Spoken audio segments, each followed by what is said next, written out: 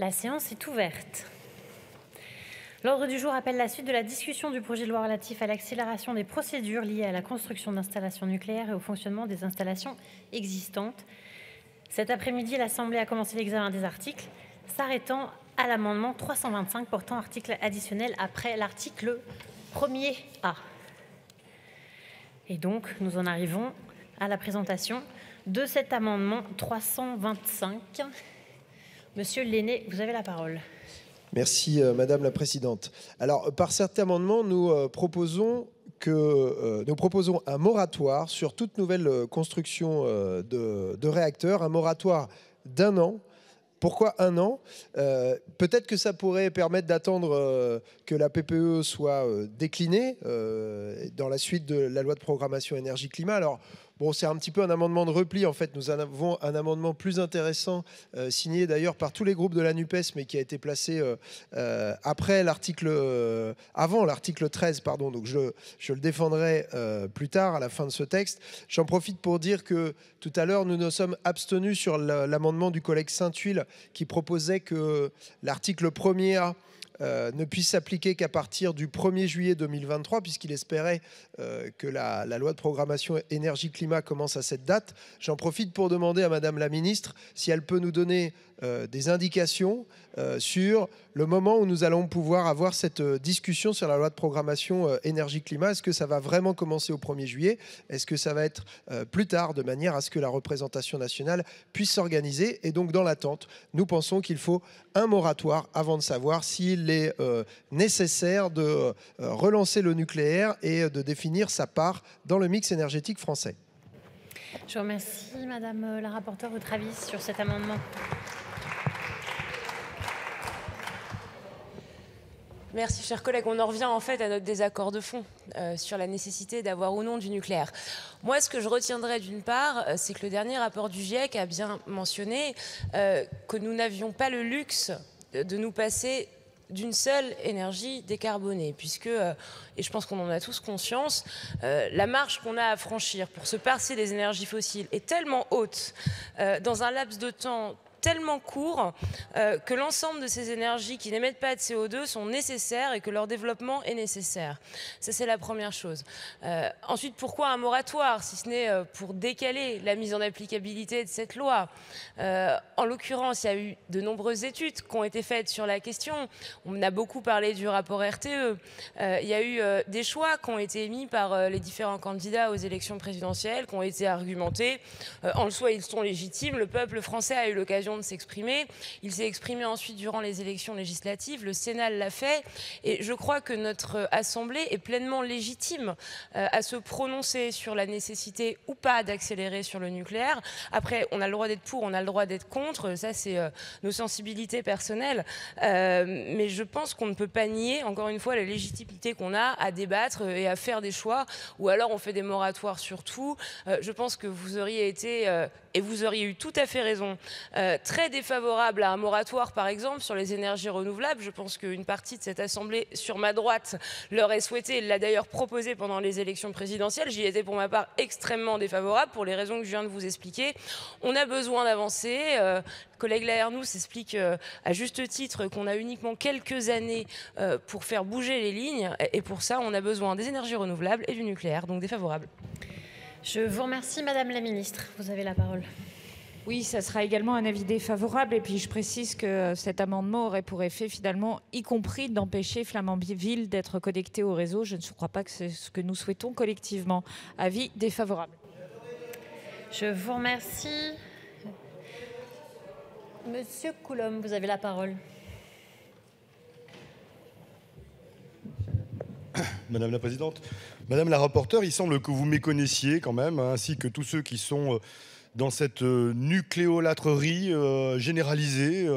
Euh, vous méconnaissez tous les dangers, finalement, dans, vos arguments que représente le nucléaire. C'est quand même assez extraordinaire. Alors, vous prétendez qu'il nous faut sortir des énergies carbonées.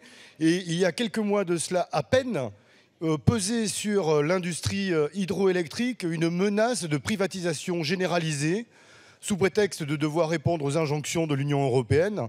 Injonction qui nous aurait fait perdre la maîtrise d'un des éléments qui est également une des parties absolument indispensables au bon fonctionnement même des énergies nucléaires puisque euh, je ne sais pas si tout le monde est au courant de cela, mais dans le cadre d'une perte de, puissance ou d'arrêt d'une centrale, on est obligé de relancer son activité avec euh, euh, d'autres modes de, production électrique, que ce soit thermoélectrique ou bien hydroélectrique. Une centrale hydroélectrique comme celle de la Bâtie, par exemple, en Savoie, produit 600 mégawatts c'est-à-dire peu ou prou la moitié de la moyenne euh, de production des centrales, euh, euh, des centrales nucléaires. Alors moi je ne vois pas une volonté réelle et sincère de la part de votre gouvernement et de ces bancs de développer la moindre énergie alternative, puisque vous étiez prêt, il y a quelques mois encore à, peine, à abandonner le nucléaire à des intérêts privés. Et de la même façon, vous n'avez pas voté l'amendement de M. Jumel euh, qui euh, avait pour vocation de sécuriser euh, également la partie exploitation avec une affectation exclusive à Électricité de France. Même ça, vous ne l'avez pas voté. Vous jouez vraiment avec le feu et avec le feu nucléaire. Je vous remercie. Alors, je vous indique que sur le vote de l'amendement 165 est identique. Je suis saisie par le groupe Renaissance d'une demande de scrutin public qui est annoncée dans l'enceinte de l'Assemblée nationale. Monsieur Cazeneuve, vous avez la parole. Merci, euh, Madame la Présidente. Euh, entendre dire euh, qu'on n'a pas essayé de développer et qu'on n'a pas eu la volonté politique de développer les énergies alternatives alors qu'on a débattu pendant deux semaines pleines d'un texte sur l'accélération du déploiement des énergies renouvelables ici dans cet hémicycle il y a quelques semaines et que dans l'immense cohérence qui est celle du groupe La France Insoumise, vous avez voté contre ce texte, je trouve qu'on va un tout petit peu trop loin euh, dans la blague. Bon. Donc c'est absolument euh, lunaire, pour reprendre une expression à la mode, d'entendre ça ce soir. Et donc c'est parfaitement incohérent. Bon, ça c'est le premier point. Euh, et par ailleurs, je reprendrai l'excellente défense de, Madame euh, la rapporteure que je m'approprierai en disant on peut être pro-ENR, défendre les ENR corps et âme, et aussi défendre l'énergie nucléaire et le développement de notre énergie nucléaire ici en France. Parce que, et ça ne vous a rappelé, oui, en même temps, mais c'est formidable en même temps, parce que quel est le problème aujourd'hui? On l'a bien vu, le problème, ce n'est pas quelle énergie, c'est l'énergie tout court. Il faut absolument qu'on puisse développer nos moyens de production, se saisir de toutes les opportunités que nous avons pour massivement produire de l'énergie décarbonée en France. C'est ça, aujourd'hui, le challenge que nous avons tous. Nous avons fait un premier pas avec le texte sur l'accélération des énergies renouvelables. Nous vous proposons aujourd'hui la même chose sur l'énergie nucléaire. En toute cohérence, il faut évidemment voter contre cet amendement. Alors, je vous remercie. Je vais donc mettre aux voix cet amendement qui a eu un double avis défavorable commission-gouvernement. Qui est pour? Qui est contre? Il n'est pas adopté. Nous en arrivons à l'article 1er B, donc il n'y a pas d'inscription possible sur cet article, et nous en arrivons aux amendements identiques, le 165. Vous avez la parole, Madame Ménard. Merci Madame la Présidente. C'est un amendement qui est dans la, suite logique de celui que j'ai défendu euh, avant, euh, avant la pause et dont euh, l'objectif est de rétablir l'article 1er B qui avait, été introduit par amendement de la Commission des affaires économiques du Sénat.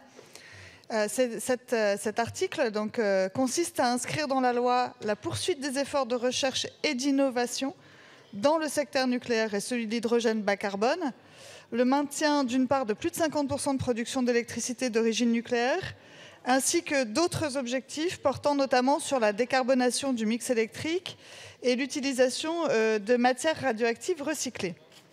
Concrètement, euh, il s'agit de, prévoir les coordinations entre la stratégie énergétique nationale appliquée à l'énergie nucléaire et à l'hydrogène, qui en est issue, et euh, le projet de loi que nous sommes en train d'examiner ce soir. Je vous remercie. Je vous remercie. Le 185, Monsieur Signeri, vous avez la parole. Merci Madame la Présidente, Madame la Ministre. C'est un amendement de ma collègue Madame Blin. L'amendement présente un lien avec le projet initial car concerne les constructions de nouvelles installations et notamment les projets de réacteurs électronucléaires visés à l'article 1er Il est conforme à l'intention du gouvernement exprimée dans l'exposé des motifs du projet de loi qui indique la production d'électricité d'origine nucléaire doit être sécurisée dans la durée et poursuivre son développement. Merci. Je remercie. Madame la rapporteure, vos avis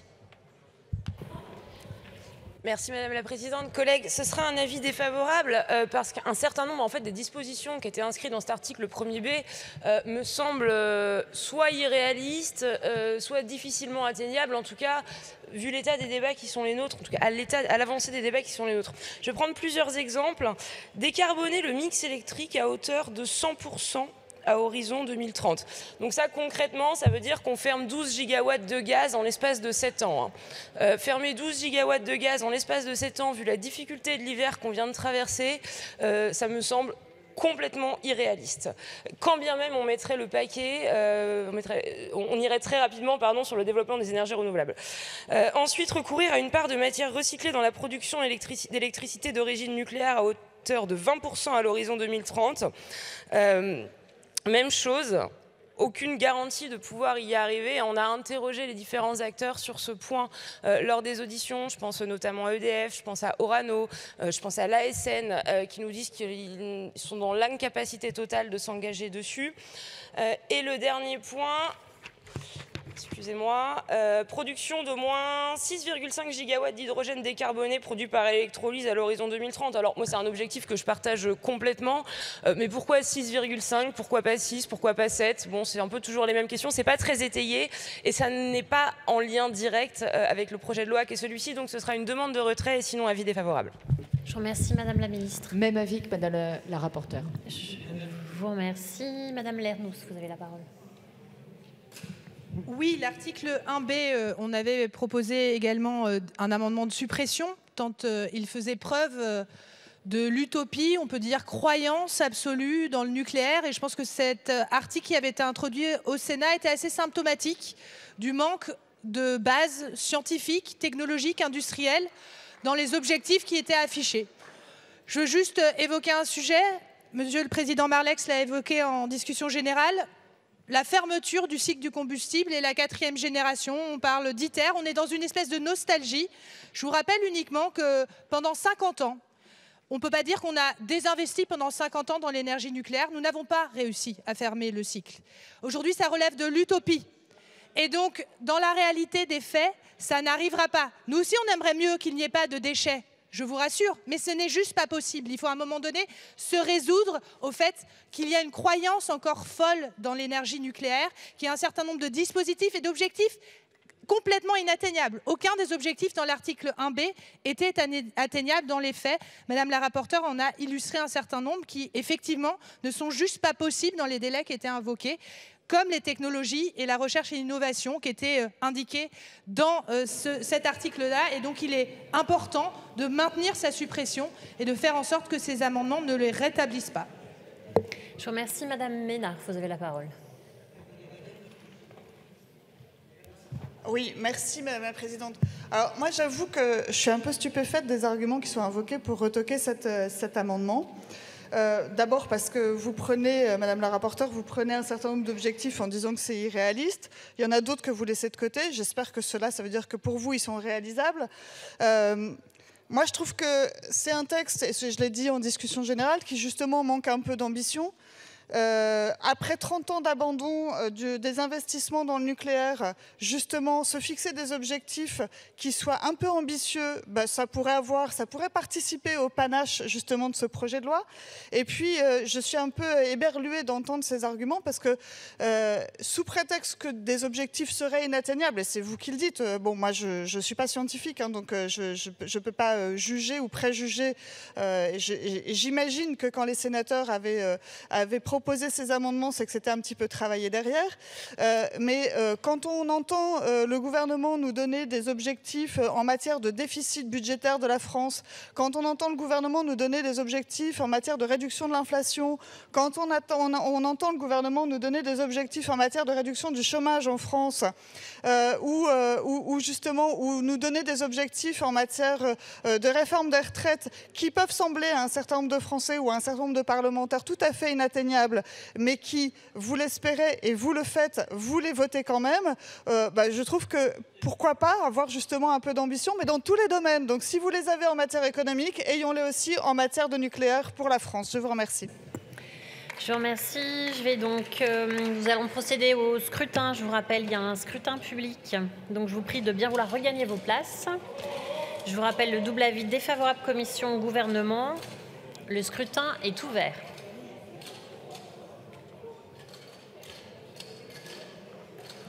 Le scrutin est clos.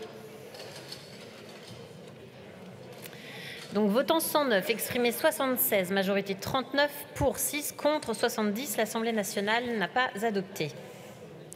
Nous en arrivons à l'article additionnel après l'article 1er B et donc le 664. Je vous en prie, monsieur le député, vous avez la parole. Merci Madame la Présidente. Le nucléaire est une énergie fiable, c'est une énergie bas carbone, c'est une énergie compétitive et c'est une énergie pilotable. Quatre bonnes raisons qui nous ont convaincus il y a 30 ans de développer notre filière. Quatre bonnes raisons qui ont été piétinées ensuite par une politique destructiste, défaitiste et irréaliste. Instaurer un principe de primauté du nucléaire sur les énergies renouvelables est donc nécessaire pour plusieurs raisons. L'une d'elles, la principale, c'est de remédier à la schizophrénie permanente de ce gouvernement. D'un côté, il promeut les énergies qui doivent être inévitablement couplées à des usines à gaz, comme le fait l'Allemagne, et de l'autre, il veut relancer le nucléaire. D'un côté, il veut des énergies décarbonées, lutter contre le changement climatique et préserver l'environnement. De l'autre, il importe balsa, terres rares, et détruit la faune et la flore avec des éoliennes. D'un côté, il promeut la réindustrialisation de la France. De l'autre, il veut développer la part des énergies renouvelables, énergies intermittentes exposées aux aléas de la météo. Cette politique du en même temps n'est pas tenable. En plus d'être un désastre écologique, c'est un gouffre financier. Il est irresponsable de jouer sur les deux tableaux en permanence sans penser qu'il n'y aura pas de conséquences derrière ou en choisissant de les ignorer, ce qui est pire. D'où l'intérêt de cet amendement qui vise à inscrire dans la loi la primauté du nucléaire sur les énergies renouvelables. Cette mesure est nécessaire, elle est nécessaire pour notre souveraineté énergétique, pour le pouvoir d'achat des Français, pour notre réindustrialisation. Tel est le sens de cet amendement. Je vous remercie, Madame la rapporteure, votre avis sur cet amendement. Merci, chers collègues. Le nucléaire doit être privilégié par rapport aux énergies fossiles, pas par rapport à d'autres énergies décarbonées. Donc avis défavorable. Je vous remercie, Madame la Ministre. Même avis. Je vous remercie, Madame Lernous, vous avez la parole.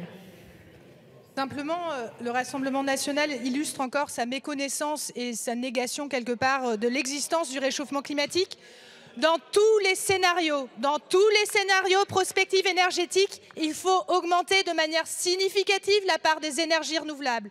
C'est ce que vous n'avez pas compris. Le nucléaire, et je, je, voudrais rectifier une chose, le nucléaire est couplé avec les énergies fossiles. L'année passée, nos émissions de gaz à effet de serre de la France ont augmenté. Savez-vous pourquoi? Parce que la moitié de notre parc était à l'arrêt. C'est pour cette raison qu'on a dû rouvrir des centrales à charbon et le port rouvrir. C'est la réalité. Vous pouvez regarder le bilan des émissions de gaz à effet de serre. Inscrire la primauté du nucléaire sur les énergies renouvelables revient à bien les opposer et de manière concrète, ça ne changera rien au réchauffement climatique ni à la transition énergétique, puisqu'un réacteur ne pourra pas voir le jour d'ici au bas mot 15 ou 20 ans si on arrive à le sortir. Sortez de vos croyances, ouvrez les yeux. Oui, il faut développer massivement les énergies renouvelables si on souhaite que nos enfants aient un avenir. Je vous remercie, Madame la Ministre. Vous avez la parole. Oui, pardon. Il y a quand même quelque chose d'assez saisissant d'entendre d'un côté qu'il euh, ne faut pas d'énergie renouvelable, alors qu'effectivement, dans les 15 ans qui viennent, je suis d'accord pour reconnaître que nous n'allons pas connecter un nouveau réacteur à part celui de Flamanville, mais il, est tout aussi saisissant de l'autre côté d'entendre, un, que les énergies nucléaires sont couplées aux énergies fossiles, ça c'est quand même une contre-vérité absolument majeure, majeure, Madame la RNOS, majeure. Et la deuxième chose, et permettez-moi de vous le rappeler, non seulement sur la base de notre nucléaire existant, c'est 100 TWh que nous pouvons obtenir, c'est-à-dire tout simplement revenir à notre production de 2019, ce qui est normal 2019. 2019, c'était avant les visites euh, de 40 ans de nos centrales euh, nucléaires. Effectivement, parce que nous avons une sûreté nucléaire qui est sans faille, nous réparons, nous faisons des contrôles et nous avons une maintenance qui est forte.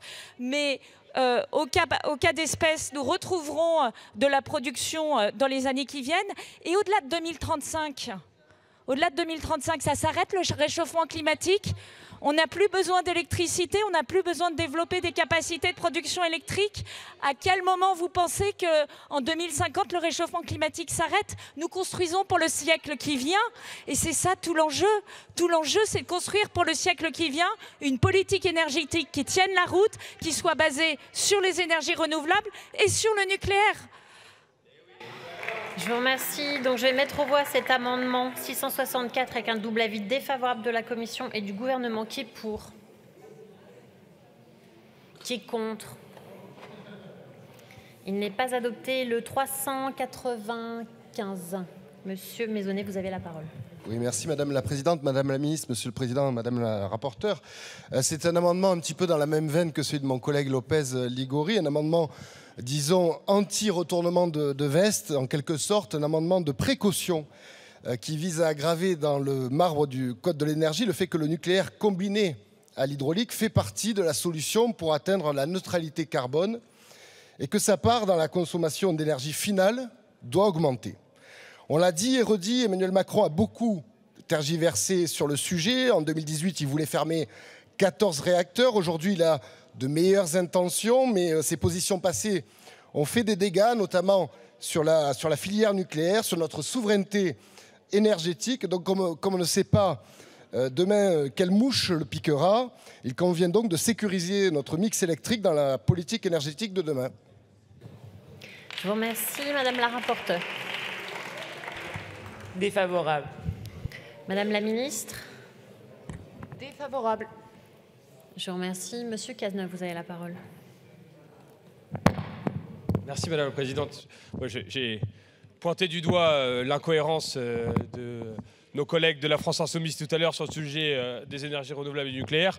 Permettez-moi de, faire un demi-tour et, de me tourner vers les collègues du Rassemblement national qui, non pas dans l'incohérence, mais dans l'incompétence cette fois-ci. Parce que sur le sujet de notre mix énergétique, encore une fois, il fallait, euh, s'il est évident qu'il faut euh, développer notre filière nucléaire, nous débattons ici euh, d'un temps qui est celui du temps long, parce qu'on le sait, un réacteur nucléaire, on ne peut pas le sortir en deux ans, en trois ans, en quatre ans, et on voit bien aujourd'hui que nous avons des trajectoires d'électrification de notre industrie, de nos usages, qui font que notre besoin en électricité va continuer à s'accroître massivement euh, dans les prochaines années. Et donc, évidemment que nous avons besoin des énergies renouvelables également dans ce mix énergétique. Donc, tous ces amendements sont parfaitement incompatibles, parfaitement, encore une fois, incohérents avec votre pseudo euh, euh, plaidoyer pour la souveraineté. Si vous voulez vraiment qu'on soit souverain d'un point de vue énergétique, votez avec nous l'ensemble des textes pour déployer aussi bien le renouvelable que le nucléaire.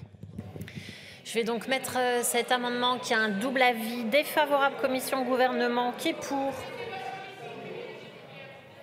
Qui est contre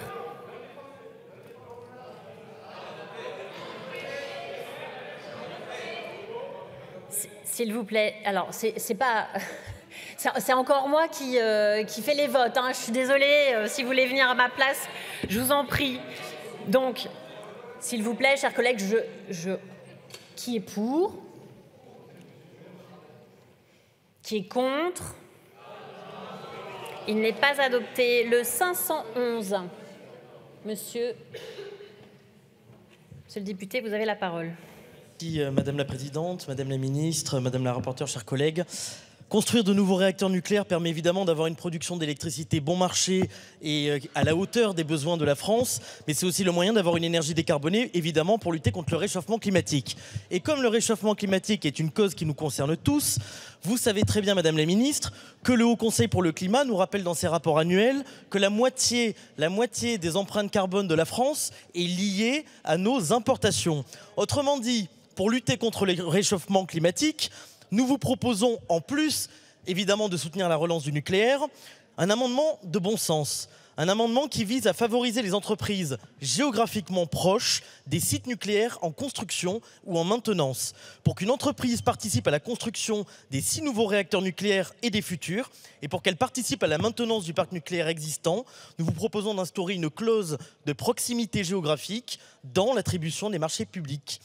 Avec cet amendement, vous lutterez contre le réchauffement climatique, vous développerez les circuits courts respectueux de l'environnement et vous défendrez l'emploi essentiellement français. Vous mettrez aussi au service de la réindustrialisation du pays euh, plusieurs dizaines de milliards d'euros, euh, en partie du contribuable d'ailleurs, plutôt que de les dilapider dans le financement des importations et des délocalisations. Je vous remercie. Je vous remercie, Madame la rapporteure. Derrière votre attachement au circuit court, il n'y a pas plutôt une détestation de l'Union européenne à tout hasard? Voilà, je, parce que je pense que c'est un petit peu ça le sujet, euh, en fait. Donc oui, il y, a des règles, de marché, il y a des règles de marché qui existent. Euh, le fait de soumettre euh, un besoin à un appel d'offres européen vaut à partir d'un certain seuil. Hein. Il y a quand même beaucoup de contrats qui sont faits sur les CNPE en local sans avoir besoin de s'y soumettre, et c'est tout à fait normal. même quand on le fait d'expérience dans une grande partie des cas, euh, les entreprises sont françaises pour une raison très simple, c'est que l'industrie nucléaire est en fait développée dans peu de pays européens, surtout depuis que l'Allemagne et la Belgique en sortent. Donc les entreprises sous-traitantes euh, qui travaillent dans ces domaines sont majoritairement françaises. Euh, et enfin, il n'y a, pas de, a pas de honte à avoir besoin parfois d'expérience extérieure. ça nous a servi, ça nous a servi récemment. On était bien content d'avoir Westinghouse qui viennent sur nos CNPE pour euh, euh, appuyer les techniciens sur la corrosion sous contrainte. Euh, donc, amendement, à mon sens, défavorable. Je vous remercie, Madame la Ministre. Oui, je pense que Madame la rapporteure a très bien révélé hein, au fond ce qu'il y a derrière votre proposition. Et puis, très simplement, si on s'appuie sur ce qui a été fait sur euh, Flamanville, vous avez 90 à 95% de la valeur qui est en France. Donc, en fait, l'enjeu que nous avons, il n'est pas là. Il est de sélectionner et d'accompagner la filière nucléaire française comme nous le faisons, de la faire euh, monter en compétences comme nous le faisons depuis euh, le plan de relance, notamment les 470 millions d'euros qui ont été investis dans cette filière. Et si effectivement, à certains moments, une un composant d'origine italienne ou d'origine euh, euh, suédoise vient permettre d'avoir euh, une chaîne d'approvisionnement de meilleure qualité avec plus de sûreté et de sécurité, je pense que c'est le choix d'EDF. Ils auront raison de choisir ces composants européens. Je veux vous rassurer, il est assez peu probable que les composants viennent de l'autre bout du monde. Je vous remercie. Alors, j'ai deux prises de parole. La première, Monsieur Coulomb. Alors, Madame la Présidente Panot. Merci, euh, Madame la Présidente. Alors, première des choses sur euh, les mensonges qui ont été euh, énoncés du côté des bancs du Rassemblement national. D'abord, vous avez parlé du dérèglement climatique et c'est très intéressant de parler du dérèglement climatique lorsque l'on parle de nucléaire parce que, vous le savez, nous sommes dans une période de sécheresse hivernale, que les épisodes de sécheresse sont en train de se multiplier dans notre pays et leur intensité augmente. Et le plus gros problème que nous allons avoir avec le nucléaire, c'est qu'il n'est pas résilient au dérèglement climatique, notamment parce que nous avons besoin de refroidir les réacteurs. Et vous le savez, il y a déjà eu la moitié des réacteurs qui ont été arrêtés, soit pour maintenant, soit pour sécheresse. Première des choses. Deuxième chose, il est intéressant que vous parliez de proximité géographique. Je vous relis ce qu'il y avait dans le rapport La Russie, plaque tournante de l'uranium. Proximité géographique qui est intéressante puisque dans le rapport, il est noté qu'en 2022, la France a quasiment triplé ses importations d'uranium enrichi russe, avec la livraison par la Russie d'un tiers de l'uranium enrichi nécessaire au fonctionnement des centrales nucléaires françaises pendant un an. Donc en termes de proximité géographique, là aussi, nous préférons les énergies renouvelables. Dernière chose, et j'alerte fortement les collègues de la majorité dessus, dans la commission d'enquête sur la sûreté et la sécurité nucléaire, dont la rapporteure était une certaine Madame Barbara Pompili, nous étions tous tombés d'accord à la fois sur le fait que le nucléaire aujourd'hui employé de manière massive de la sous-traitance et de manière dangereuse pour notre pays. Je suis marraine d'une association de sous-traitants nucléaires. C'est indigne de continuer avec des conditions de travail telles que celles-ci dans des centrales nucléaires qui, comme le, disaient des, des sous-traitants nucléaires, ils ne travaillent pas dans la raviole ou dans je ne sais quoi qui n'est pas euh, dangereux. Et puis la dernière chose, c'est que si vous voulez vraiment créer des emplois dans notre pays, ceux qui créent le plus d'emplois dans notre pays et qui est une énergie aujourd'hui moins chère que l'énergie nucléaire, eh bien c'est le développement des énergies renouvelables. Je vous remercie, monsieur euh, le député. Vous avez la parole. Oui, euh, merci Madame la Présidente. Écoutez, euh, Madame la rapporteure, il ne s'agit pas de notre part de détestation de l'Union européenne. Il ne s'agit pas de détestation de l'Union européenne, mais visiblement, je constate que vous avez une détestation dans les rangs de la Macronie du patriotisme économique. C'est-à-dire qu'aujourd'hui, vous, êtes en train, de faire payer des impôts de manière en quantité démesurée, et ces impôts-là sont en train de subventionner les importations et les délocalisations qui font qu'aujourd'hui, nous avons un record abyssal abyssal de la balance commerciale, du déficit de la balance commerciale. Plus de 170 milliards d'euros. 170 milliards d'euros de déficit commercial. Euh, j'ajoute, euh, chère Madame la Ministre, J'ajoute que dans le cadre du plan de relance aux États-Unis, il y a effectivement, pour réindustrialiser le pays, des critères de proximité géographique qui ont été installés.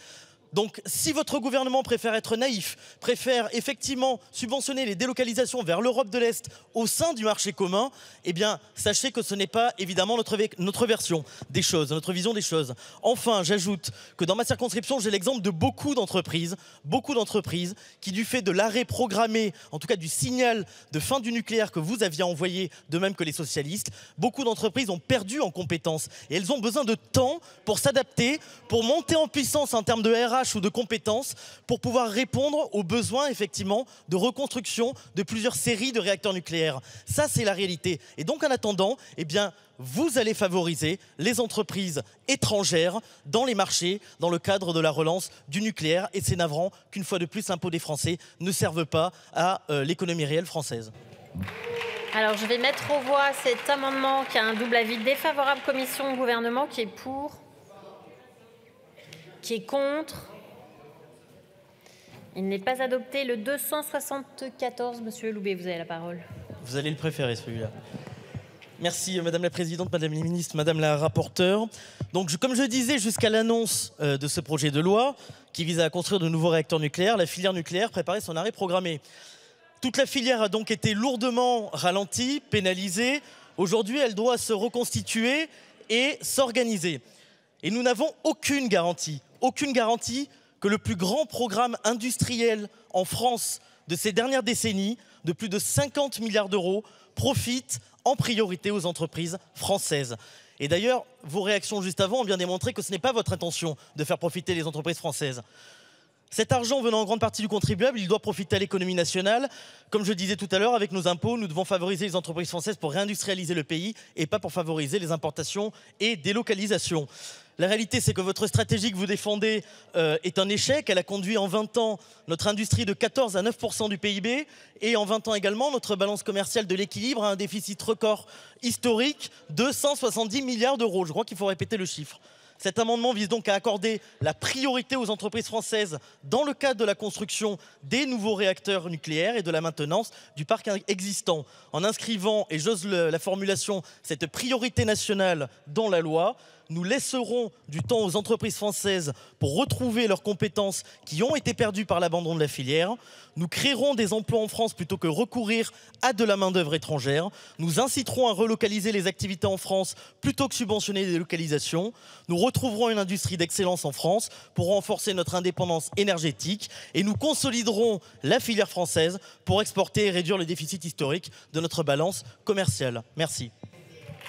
Merci, Madame euh, la rapporteure, votre avis sur cet amendement. Oui, Merci collègue. Quand on choisit une entreprise pour un chantier de maintenance sur une centrale, on regarde effectivement assez peu les critères euh, géographiques. Euh, on regarde des critères de compétences. Et c'est bien normal. Quand vous faites une ouverture fermeture, fermeture cuve sur un chantier de maintenance, ce qui vous intéresse, c'est de savoir comment les techniciens y travaillent. ça s'appelle la culture sûreté. Je pense qu'il ne faut pas revenir dessus. Euh, il y a aujourd'hui une majorité d'entreprises françaises euh, qui travaillent sur les chantiers. Et quant à la nécessité de retrouver la compétence, je pense que vous n'abordez pas les choses dans le bon sens. L'enjeu, c'est pas de faire en sorte que l'ensemble des entreprises qui interviennent sur les chantiers soient des entreprises françaises. L'enjeu, c'est de réinternaliser au sein d'EDF les compétences qui ont été trop souvent externalisées sur la maintenance depuis les 15 dernières années. Je vous remercie, Madame la Ministre. Oui, c'est un avis euh, défavorable, mais je voudrais quand même euh, apporter quelques éléments au débat qui vont plutôt dans le sens totalement contraire de ce que vous venez d'exprimer, de manière d'ailleurs très peu étayée. La première chose, c'est en matière de relocalisation. En réalité, nous relocalisons sur euh, le, le, secteur nucléaire. Je rappelle hein, deux annonces de relocalisation ces dix derniers jours, une chez Framatome pour les internes de cuve, une autre chez Orano, et toutes ces relocalisations, elles ont été portées par le travail que nous avons fait dans le cadre du plan de relance depuis 2020. Deuxième élément, vous mentionnez le déficit commercial, mais c'est un très bon point car 80 milliards d'euros de notre déficit commercial, ce sont des énergies fossiles. Alors, si vous ne développez pas les énergies renouvelables et si vous ne développez pas, mais dans 15 ans, les énergies nucléaires, je ne vois pas comment vous allez vous passer et diminuer ce déficit commercial. La troisième chose, c'est que, et je l'ai dit, mais vous deviez être euh, peut-être pas écouté, et je ne vous reproche pas, que sur le programme de Flamanville qui est en cours, c'est 90% de valeur ajoutée en France. Donc vous voyez bien qu'on ne vous a pas attendu pour construire avec la filière nucléaire française, pour faire progresser l'emploi. Ça fait quatre ans qu'on y travaille. J'ai signé personnellement le contrat stratégique de filière de la filière nucléaire en 2019 et donc j'ai certainement pas de leçon de réindustrialisation à avoir de vous. A fortiori, s'agissant d'une majorité qui pour la première fois depuis 20 ans, c'est-à-dire depuis 2000, avant 2002, a recréé de l'emploi industriel. Je vous rappelle que depuis 2017, nous recréons de l'emploi industriel. Je vous remercie. Madame Goulet, vous avez la parole. Merci, euh, Madame la Présidente. Alors, tout d'abord, je, tiens quand même à rappeler que si pendant des années, il n'y a pas eu forcément cette filière française, c'est parce qu'il n'y avait pas de vision dans notre pays suite à la fin de la construction de ces centrales nucléaires. Là, aujourd'hui, on est dans cette vision.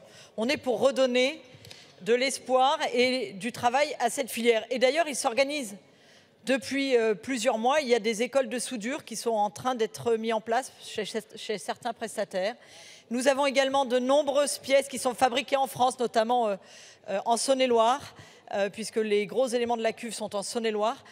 Et franchement, quand EDF peut prendre des entreprises à côté de chez eux pour avoir la flexibilité nécessaire, eh bien, ils le font. Donc, je ne vois pas en quoi cet amendement est nécessaire.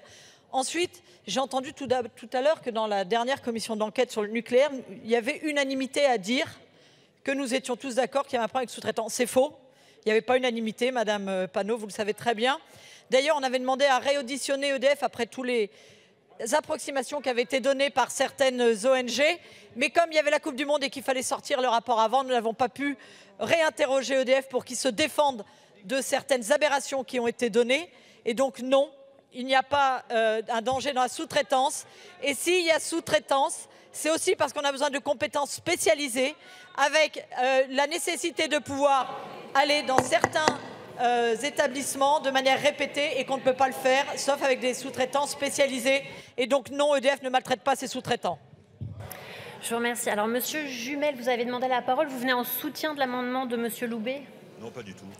Parce que j'ai déjà eu l'avis contre. Oui, mais enfin, je, vous avez évidemment la possibilité d'appliquer strictement le règlement sur un pour un contre.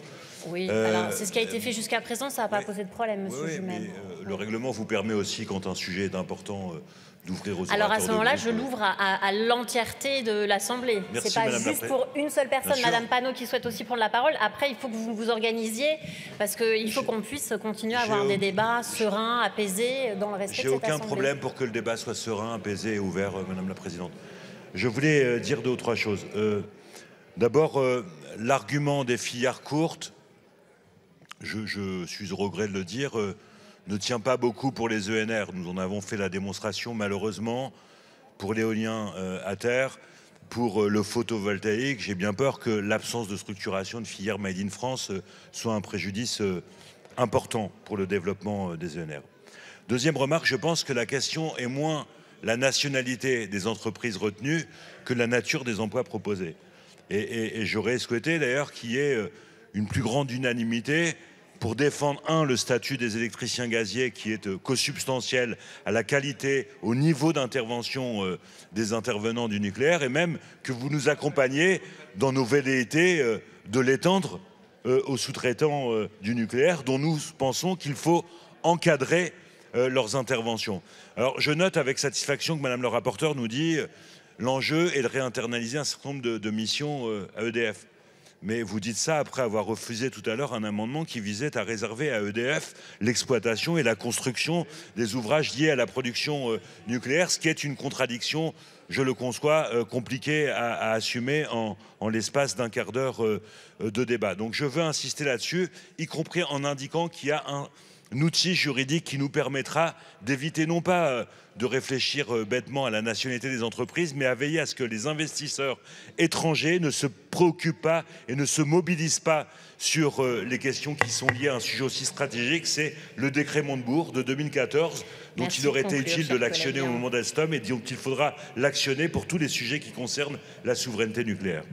Merci. Donc, par mesure d'équilibre, je vais redonner la parole à Monsieur Loubet pour qu'on ait euh, des défenses en pour et en contre. Merci, Madame la Présidente. Écoutez, on entend euh, des leçons qui nous sont données de la part de députés macronistes sur la vision en termes de nucléaire et la souveraineté énergétique.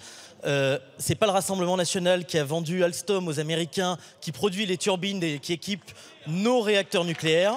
C'est pas le Rassemblement national qui a décidé de la fermeture de Fessenheim 1800 mégawatts qui ont été supprimés du réseau électrique du Grand Est, ce qui en contrepartie a impliqué la réouverture d'une centrale à charbon. Donc on ne vienne pas nous donner de leçons en matière non plus de réchauffement climatique.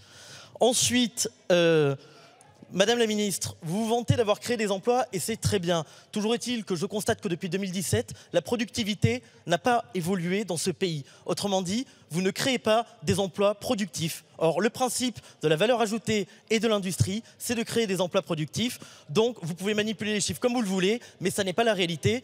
Et je suis élu dans une circonscription, chère madame, dans laquelle je vous invite à venir visiter l'ensemble des usines automobiles, étant donné qu'elles sont pour la quasi-intégralité en très grande difficulté. Et je peux vous donner des exemples également de lignes de production qui comptaient venir s'installer, mais qui, à cause de l'explosion des prix, à cause de l'explosion des prix de l'énergie, aujourd'hui, eh voient leurs actionnaires étrangers refuser de venir s'installer en France. Par ailleurs, euh, vous vous réjouissez, c'est assez euh, surréaliste, vous vous réjouissez que à peu près 80 milliards d'euros de notre déficit commercial correspondent à des énergies fossiles. Mais écoutez, c'est tout simplement parce qu'effectivement, vous êtes en train d'importer du gaz de schiste américain. Écoutez, moi j'ai une proposition à vous faire. Plutôt qu'importer du gaz de schiste américain qui, d'une part, pollue à cause de- euh, massivement à cause de la fracturation hydraulique et d'autre part pollue parce qu'on est obligé d'importer ce gaz outre-Atlantique, ben, je vous propose euh, d'étudier euh, eh bien, le- l'extraction du gaz de couche en Lorraine. Merci. Et là, en l'occurrence, ce seront Merci des circuits courts conclure. qui coûteront moins en termes d'émissions de CO2. Merci. Je vous remercie. Je vais donc mettre aux voix cet amendement qui a un double avis défavorable de la Commission et du gouvernement qui est pour. Madame Panot, s'il vous plaît, qui est contre. Il n'est pas adopté. Je vous ai dit que je. oui, mais alors attendez, j'ai fait des pour, des contre. Si vous étiez. Non, alors attendez, j'ai illustré mon propos, j'ai refait un compte pour que ça soit équilibré. Alors, je vous indique que sur le vote de l'amendement 20, je suis saisie par le groupe Renaissance d'une demande de scrutin public. Le scrutin est annoncé dans l'enceinte de l'Assemblée nationale et nous avons des inscrits sur l'article 1er C. Et donc, euh, Monsieur Tanguy, vous avez la parole. Alors, Monsieur Tanguy ne prend pas la parole.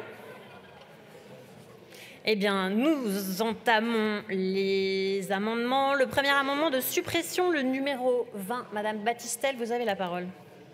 Oui, Madame la Présidente, euh, ben, je vais défendre cet amendement euh, très rapidement puisqu'on a eu euh, déjà de longs débats sur le fait que le groupe socialiste ne souhaite pas que nous préemptions la loi de programmation énergie-climat et que donc tout élément qui traite de la programmation et qui a été introduit dans le texte, nous souhaitons le supprimer. Donc c'est bien le cas de, de cet article que nous vous proposons de supprimer, même si euh, il a été euh, quelque peu euh, modifié dans la version du Sénat euh, par, euh, en commission, mais ce n'est pas suffisant pour nous. Je remercie Madame la rapporteure. Votre avis sur cet amendement Mais, chers collègues, en fait, je ne vous comprends pas très bien. Parce qu'à la base, on parlait de diversification. Le Sénat a remplacé par décarbonation, ce qui, vous, ce qui ne vous allait pas, et à la limite, je peux comprendre. On dit finalement, on ne met pas tous nos œufs dans le même panier. Mais là, on a accolé diversification et décarbonation. Donc on veut un mix décarboné et en même temps décarboné grâce à différents moyens de production électrique, hydraulique, énergie renouvelable, nucléaire. Euh, donc je ne vois pas bien quel est le sens de cet amendement de, de suppression. Et ce sera donc un avis défavorable. Je vous remercie, Madame la Ministre. Même avis que Madame la rapporteure. Je vous remercie, Madame Battistel. Vous avez la parole. Oui, je pense que Madame la rapporteure euh, tente de ne pas comprendre, mais en fait, euh, vous comprenez très bien. En fait, on ne souhaite pas d'éléments programmatiques, quels qu'ils soient, dans cette loi, comme vous n'en avez pas souhaité dans la loi d'accélération des ENR. Donc c'est pas plus compliqué que cela. Et puis, euh, puisque j'ai repris la parole, je me permets de reposer la question, Madame la Ministre, pour la énième fois. Est-ce que vous avez des éléments qui nous indiquent que vous allez bien déposer euh, la loi de programmation euh, énergie-climat pour le 1er juillet 2023, ou alors une surprise peut-être avant? Je vous remercie. Donc, je vais mettre aux voix cet amendement qui a un double avis défavorable commission-gouvernement. Je vous rappelle, chers collègues, que c'est un scrutin public. Je vous prie de regagner vos places. Le scrutin est ouvert.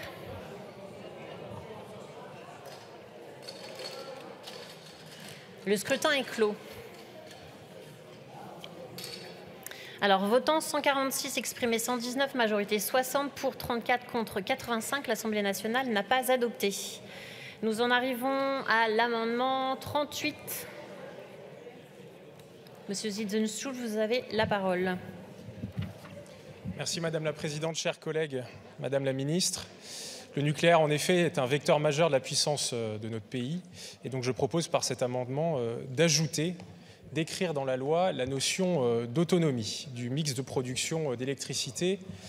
Et pourquoi? Parce que, euh, hélas, en 2022, nous avons vu un des acquis de notre politique énergétique s'envoler, puisque le pays a été pendant plusieurs mois importateur net d'électricité. Alors il semblerait que la situation la situation pour cette année. Nous, nous sommes à nouveau exportateurs net, mais c'est une alerte, à mon sens, qu'il ne faut pas prendre à la légère puisque cela euh, faisait plusieurs décennies que, effectivement, euh, nous avions oublié que le fait d'être exploitateur net euh, ne tombe pas du ciel. Et donc, pour bien le rappeler à l'ensemble des acteurs et des opérateurs de la politique énergétique française, je propose de l'ajouter à la loi qui prévoit donc de fixer les objectifs de notre politique énergétique.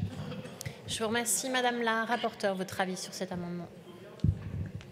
Merci, chers collègues. Préciser que le, Code de l'énergie prévoit déjà la notion de sécurisation des approvisionnements. Euh, donc pour moi, c'est euh, en bonne partie satisfait. Et j'ajoute qu'au regard de ce qu'on a voté et, que, de ce que j'espère on continuera à voter dans les jours à venir, on a accéléré d'un côté les énergies renouvelables qui sont euh, un vecteur de sécurisation de, nos approvisionnements et de nos consommations. On fait la même chose aujourd'hui avec le nucléaire. donc je pense qu'en fait votre amendement est déjà satisfait et donc ce sera une demande de retrait. Je vous remercie, Madame la Ministre.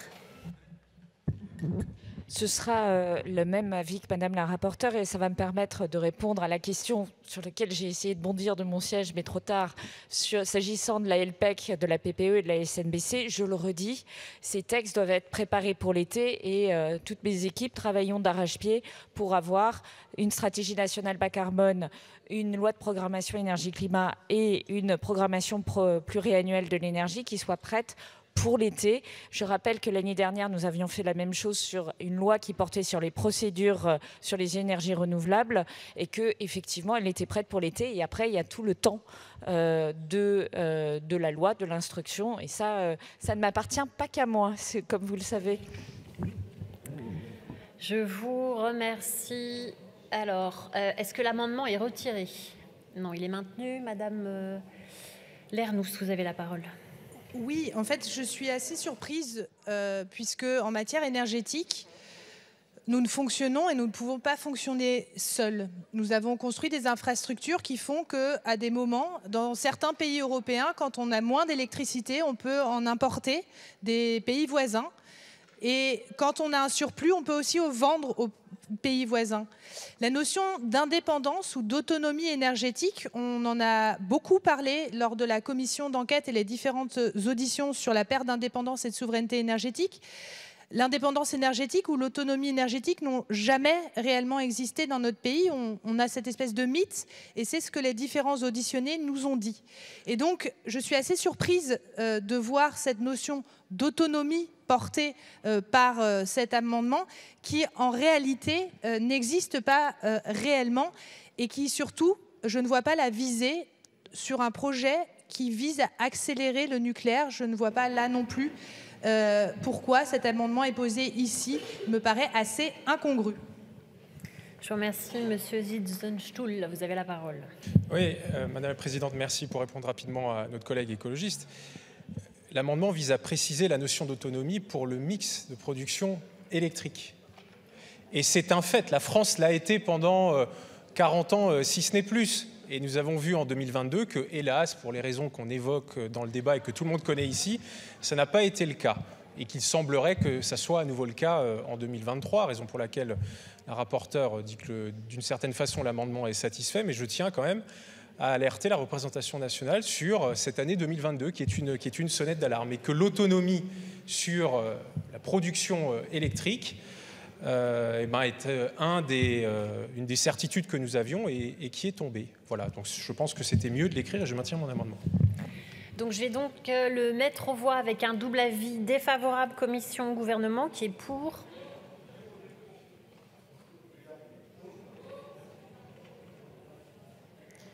Qui est contre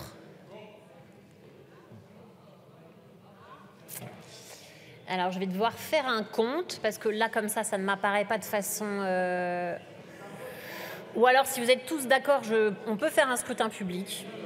Mais si vous êtes tous d'accord, alors. Donc, je vous prie de bien vouloir regagner vos places, chers collègues. Donc, je vous rappelle le double avis défavorable commission-gouvernement et le scrutin est ouvert. Le scrutin est clos. Alors, votant 143, exprimé 142, majorité 72 pour, 49 contre 93, l'Assemblée nationale n'a pas adopté. Et la différence qu'il peut y avoir, vous le savez, mes chers collègues, entre ce que je peux voir et ce que nous avons scrutin public, c'est que nous avons des délégations. Euh, parce que vous, pourriez croire que je n'arrive pas à, regarder ce qui se passe dans l'enceinte de l'Assemblée. Alors, nous avons, je vous remercie pour le soutien, nous avons des amendements qui peuvent être soumis à une discussion commune, mais je tiens à vous annoncer d'ores et déjà que sur l'article 1er C, je suis saisie par le groupe Renaissance d'une demande de scrutin public qui est annoncée dans l'enceinte de l'Assemblée nationale. Et donc nous en arrivons au 346 qui est présenté Présidente, les, articles 300, les amendements pardon, 346 et 161 sont retirés. Je vous remercie. Nous en arrivons donc au 128. Qui le défend Madame la députée, vous avez la parole. Merci Madame la Présidente. L'électricité nucléaire représente 70% du mix énergétique français, faisant de l'Hexagone le pays le plus nucléarisé au monde. Depuis 70 ans, l'atome garantit l'indépendance énergétique de notre pays. 70 ans que la France bénéficie d'une énergie propre, efficace et à bas coût. Alors que la production d'énergie nucléaire est une filière française d'exception, qu'elle représente presque 7% de l'emploi industriel français et comptabilise 220 000 hommes et femmes qualifiés, en ce sens, le nucléaire participe largement au dynamisme de l'industrie française et contribue par ses implantations sur tout le territoire au développement des tissus économiques locaux. Malheureusement, le nucléaire n'a pas échappé au syndrome du en même temps macronien et a subi un démantèlement progressif avant de finalement être relancé. Établir un programme électronucléaire ambitieux est une nécessité, oui, mais s'atteler à la formation des hommes et des femmes pour la construction, l'entretien et la maintenance des installations nucléaires est d'autant plus impérieux aujourd'hui. Ce projet de construction de réacteurs nucléaires est un projet d'avenir pour de nombreuses décennies. Or, pour qu'un tel projet fonctionne, il est impératif de former, former, encore former. Comme l'ont rappelé divers experts, dont l'ancien directeur d'EDF, il y a eu des insuffisances. Et le manque cruel de formation et de compétences se fait ressentir. Cette situation n'a que trop duré. Il est impératif de mettre en place aujourd'hui une filière de formation renforcée pour assurer la protection électronucléaire française. Une formation accrue dans les domaines de l'ingénierie, mais aussi dans tous les métiers liés à la fabrication, à la maintenance des installations, comme les soudeurs, les chaudronniers, électrotechniciens, charpentiers, métalliques. Mesdames, Messieurs les députés, voter cet amendement, c'est assurer l'avenir de la filière nucléaire française en termes d'emploi. Je vous remercie. Je vous remercie, Madame la rapporteure, votre avis sur cet amendement. Merci. Chers collègues, vous énumérez là un certain nombre de choses euh, avec lesquelles, en valeur absolue, on peut être tout à fait d'accord, euh, mais qui n'ont pas leur place euh, au niveau de la loi. C'est pas du niveau de la loi, c'est du niveau de la PPE. sur le fond, se dire qu'en intégrant ces quelques phrases dans un projet de loi, on va résoudre la question de la formation, on est quand même très loin de la balle. ce, qui, ce qui fait que des jeunes s'engagent dans des filières techniques, dans des métiers de chaudronnerie, de robinetterie, de mécanicien, ce qui fait qu'ils vont dans des écoles d'ingénieurs, qu'ensuite ils se dirigent vers les filières du nucléaire, euh, c'est pas à la loi de le faire. Euh, c'est précisément en envoyant des signaux extrêmement clairs à la filière, ce qu'on est en train de faire de par cette loi, euh, ce que les enseignants dans les écoles d'ingé, dans les IUT font aussi, et ce qui n'était pas le cas, croyez-moi, il y a quelques années. mais cet amendement n'y changerait, contrairement à ce que vous avez dit à la fin de votre argumentaire, ne changerait absolument rien. Avis défavorable. Je vous remercie, Madame la Ministre. Oui, c'est également un avis défavorable. Comme vous le savez, depuis 2009, nous travaillons sur les compétences du nucléaire. C'est un des éléments du contrat stratégique de filière que nous avons signé en 2019. Et vous savez également que nous avons relancé, avec des soutiens du plan France Relance, puis du soutien de France 2030, un certain nombre de euh, bourses du nucléaire, de formations autour du nucléaire. Et la filière présentera très prochainement non seulement le détail de ses besoins en compétences, c'est un rapport qui est prévu pour le 15 avril, mais ensuite sa feuille de route en matière de formation qui est euh, coproduite avec France Industrie et je crois que ce plan-là, nous l'avons déjà préparé et anticipé. Donc euh, effectivement, si une loi suffisait pour euh, réformer notre système de formation et faire en sorte que l'appareil de formation et les, et les candidats se retrouvent au bon endroit au bon moment, ça se saurait. C'est du travail de fond et qui doit être mené sérieusement avec la filière. C'est ce que nous avons entamé depuis quatre ans. Je vous remercie. Je vais donc mettre au voie cet amendement qui a un double avis défavorable commission-gouvernement. Qui est pour Qui est contre Il n'est pas adopté. Le 209, Madame Pochon, vous avez la parole. Merci Madame la Présidente. Le gouvernement, qui avait refusé de fixer des objectifs de part des renouvelables dans la loi d'accélération des renouvelables, souhaite maintenant en fixer pour le nucléaire. Drôle de priorité à l'heure où le monde entier investit massivement dans les renouvelables. Drôle de priorité aussi que de défaire une planification stratégique majeure et impérieuse par voie d'amendement sur un texte de méthode et non pas dans la discussion globale que nous devrions avoir à l'occasion de la discussion sur la planification pluriannuelle de l'énergie plus tard cette année. Mais vous avez décidé de mettre le sujet sur la table, alors autant aller jusqu'au bout, même si nous souhaitons avant tout la suppression de cet article. Vous créez ce no man's land juridique sans objectif, comme l'évoquait le collègue Saint-Huile. Aussi, permettez qu'on s'en saisisse. Notre mix énergétique futur devra comprendre les impératifs de demande, de sobriété des usages, de baisse impérieuse des émissions de gaz à effet de serre, mais aussi de résilience face à un monde qui va radicalement se transformer dans les années à venir. Nous devrons consommer moins, et mieux. Nous devrons agir sur la demande, qui devra et pourra être pilotable si et quand la production ne l'est pas. Et je crois que c'est le cas. Nous devrons nous protéger face à des impacts de plus en plus violents du changement climatique. Le meilleur moyen pour ce faire est d'imaginer la capacité pour des collectifs locaux, des communes, d'obtenir une relative autosuffisance et sortir au plus vite d'un modèle vertical opaque, ultra cher, qui s'appuie sur de la sous-traitance, non préparée aux risques climatiques à venir, potentiellement dangereux et que personne au monde ne nous envie. Oui, c'est ça votre programme. Aussi parce que nous, députés du groupe écologiste, savons qu'un autre modèle du mix énergétique est possible et nécessaire, parce que tous les scénarios aujourd'hui nous appuient en ce sens, parce que vous disiez vouloir accélérer le renouvelable et avez, semble-t-il, bien malheureusement oublié de fixer un objectif similaire dans la loi euh, d'accélération des énergies renouvelables, nous proposons d'inscrire dans la loi de porter la part des énergies renouvelables à 100% de la consommation finale brute d'énergie en 2050. Je vous remercie. Je vous remercie. Madame la rapporteure, votre avis sur cet amendement Oui, merci, chers collègues. En fait, 100% d'énergie renouvelable, on est d'accord que c'est la sortie du nucléaire, si je sais toujours compter. Bon, il y en a qui ont payé pour voir. hein. Euh, donc je vais vous reprendre l'exemple euh, qu'on prend régulièrement, l'Allemagne. 40 gigawatts de charbon restant aujourd'hui, l'équivalent des deux tiers. Bah oui, mais l'équivalent des deux tiers. Si ça vous embête pas, je peux terminer sans que vous me criez dessus. S'il vous plaît, chers collègues. S'il vous plaît. Donc 40 gigawatts de charbon, l'équivalent des deux tiers de notre parc nucléaire. La semaine dernière, Olaf Scholz annonçait le doublement de leur capacité en gaz. Pourquoi? Parce qu'en fait, on a besoin d'une part pilotable et d'une part renouvelable. Et qu'en France, le nucléaire pilotable soutient les énergies renouvelables sur le réseau. Euh, je vous passe sur l'aspect géopolitique où, en faisant ce choix et cette volonté de tendre vers le 100% ENR, l'Allemagne a pieds et poings liés une bonne partie de l'Union européenne avec Nord Stream 1 et Nord Stream 2 qui nous apportait du gaz de Russie. Euh, donc on en a quand même vu le résultat. On a deux énergies, même plus d'ailleurs, des moyens de production qui sont décarbonés et pourtant vous pensez toujours avoir le luxe de vous passer de l'une d'entre elles.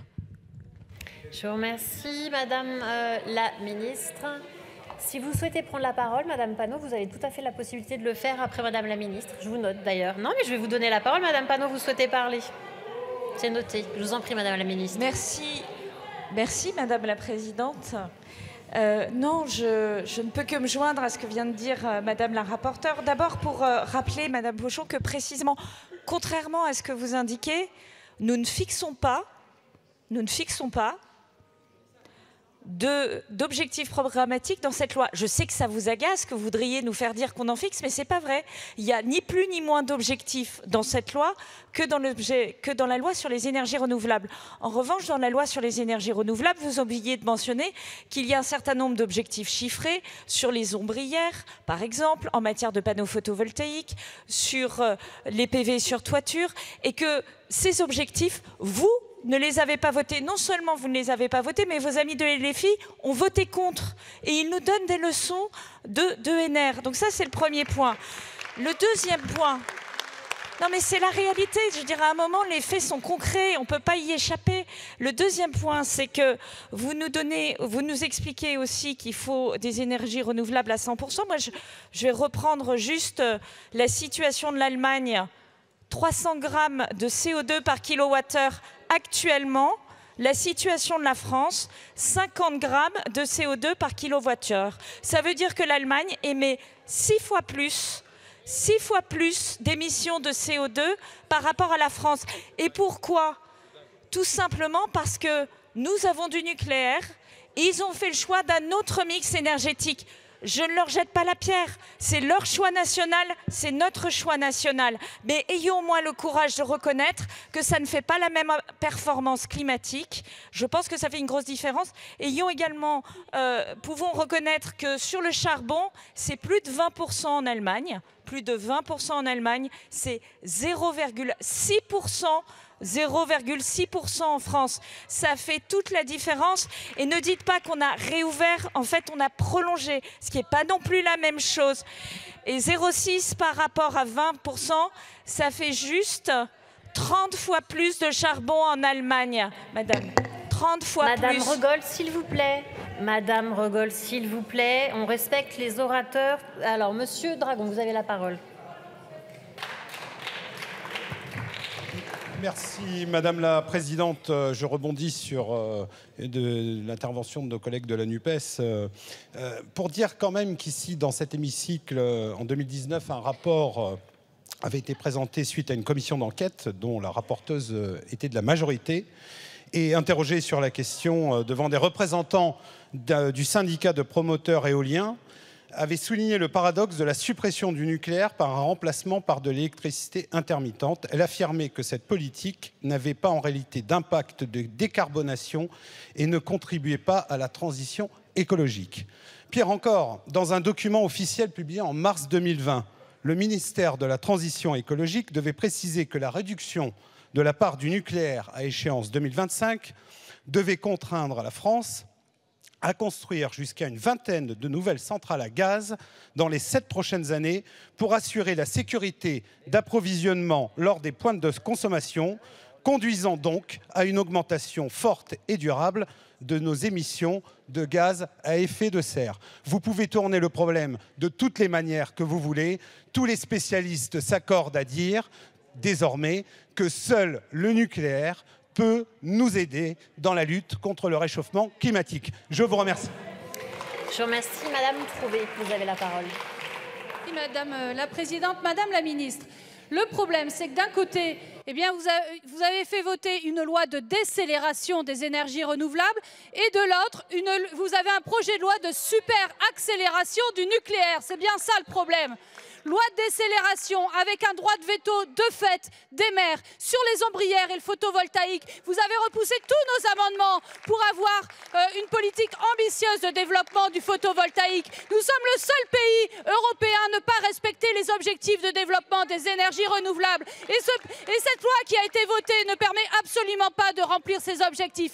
Enfin, et il y a ici un objectif, il y a un point commun entre votre loi sur les énergies renouvelables et celle sur le nucléaire, et je vais vous dire lequel. La mainmise du marché. Parce que d'un côté, sur les énergies renouvelables, eh bien, vous laissez faire la main invisible du marché. Et de la même façon, sur le nucléaire, eh bien, déjà, en commission des affaires économiques, vous avez refusé notre amendement pour qu'on ait une maîtrise publique et entière du nucléaire. Alors, je vais donc mettre au voie cet amendement qui a eu un double avis défavorable commission-gouvernement, qui est pour, qui est contre. Il n'est pas adopté le 665. Il est défendu, Madame la rapporteure. Défavorable, Madame la Ministre. Défavorable également. Je vais donc mettre au voie cet amendement qui a un double avis défavorable commission-gouvernement, qui est pour, qui est contre. Il n'est pas adopté et donc je vous rappelle que sur l'article 1er C, nous avons une demande de scrutin public. Donc euh, je vous prie de bien vouloir regagner vos places. Le scrutin est ouvert. Le scrutin est clos. Donc, euh, résultat du scrutin, votant 163, exprimé 165, majorité 78 pour 116 contre 39. L'Assemblée nationale a adopté. Je vous indique que sur le vote de l'amendement 611, je suis saisie par le groupe socialiste et apparenté d'une demande de scrutin public. Le scrutin est annoncé dans l'enceinte de l'Assemblée nationale. Et donc, nous en arrivons à l'article additionnel après l'article 1er C et donc le 611. Madame Pic, vous avez la parole. Oui, merci euh, Madame la Présidente. En fait, euh, le présent amendement euh, du groupe socialiste et apparenté vise à, réécrire en partie, à ajouter, à, compléter par un alinéa, le septième, ainsi rédigé, sur les, besoins en termes de métiers et de compétences dans les filières industrielles et de recherche, en particulier dans la filière nucléaire. il est proposé qu'à la place d'un rapport unique, et proposer qu'une analyse constitue une composante obligatoire de chaque loi de programmation énergie et climat afin que les évaluations soient directement liées aux dispositions programmatiques et aux objectifs portés par ces lois et régulièrement euh, actualisées. Ainsi, l'analyse assigne à la loi de programmation sur l'énergie et le climat une dimension de programmation sur les besoins en métier de en matière de métiers et de compétences pour la recherche et l'industrie sur la structuration des filières d'enseignement et de formation pour satisfaire à ces besoins et sur les moyens mobilisés pour atteindre les objectifs.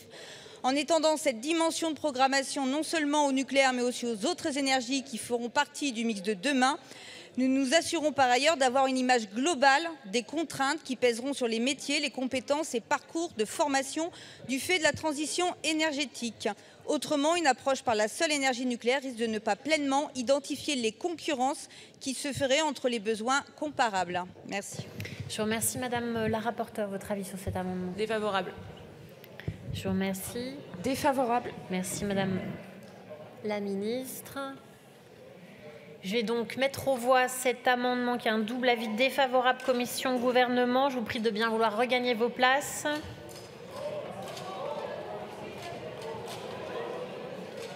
Le scrutin est ouvert.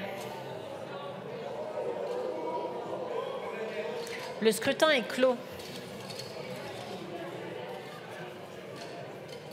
Donc votant 152, exprimé 147, majorité 74 pour 67 contre 80, l'Assemblée nationale n'a pas adopté.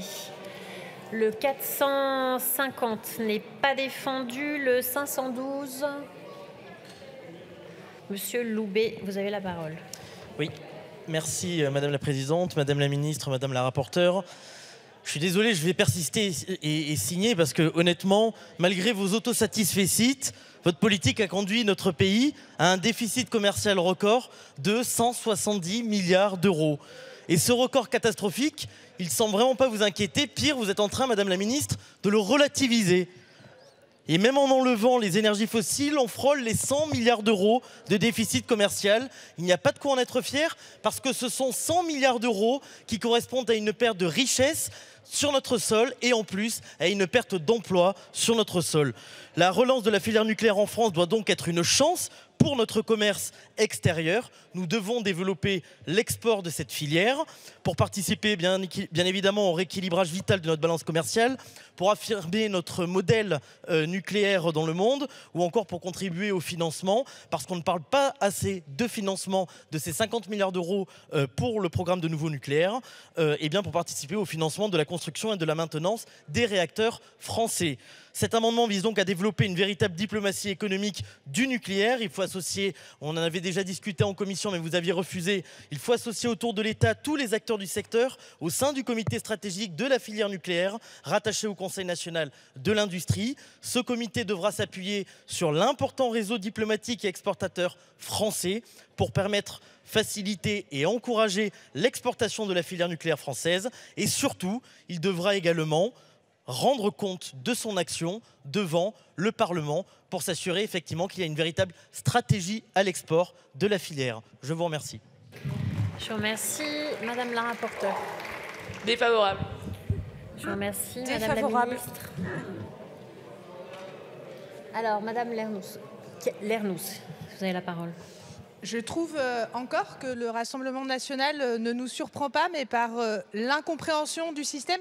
J'ai envie de dire que il y a peut-être quelques sujets de consensus, y compris dans la commission, qui vise à examiner pourquoi la perte d'indépendance et de souveraineté énergétique et la dilapidation de la rente du nucléaire, notamment en ayant une stratégie quand même très incompréhensible, vous allez me dire, sur l'exportation de la filière française d'excellence dans le monde. Citez-moi un exemple de leur réussite euh, dans euh, les années passées. Je pense qu'on peut dire que ni Inclay Point, ni euh, qui a là aussi des problématiques qui sont d'ordre différent, mais qui a aussi eu du mal à démarrer, qui a dû être arrêté. Euh, et donc, on ne voit pas très bien, en tout cas, la, carte de fabrique de l'excellence de la filière notamment illustrée par le combat féroce que se sont menés sur le terrain international Areva et EDF, et qui ont donc véritablement fragilisé, j'ai envie de dire, avant de pouvoir s'exporter, c'est mieux de savoir promouvoir la filière et d'avoir des bons exemples sur notre territoire national. Et pour l'instant, c'est Flamanville, et c'est vrai que ce n'est pas très probant. Je vous remercie, Monsieur Loubet. Vous avez la parole.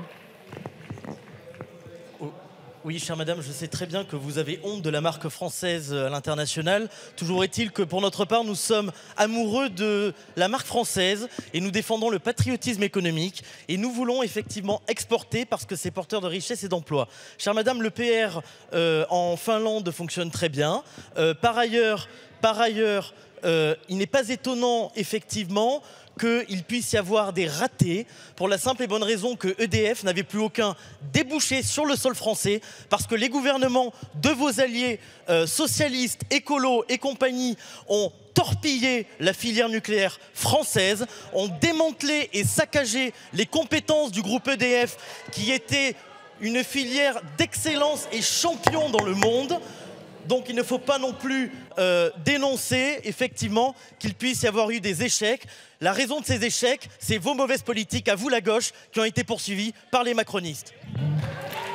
Alors je vais donc mettre au voix cet amendement qui a un double avis défavorable, commission gouvernement qui est pour, qui est contre,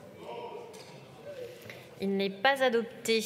Nous en arrivons à l'article 1er D et donc nous avons des intervenants inscrits. Madame Evassat, vous avez la parole. Merci Madame la Présidente.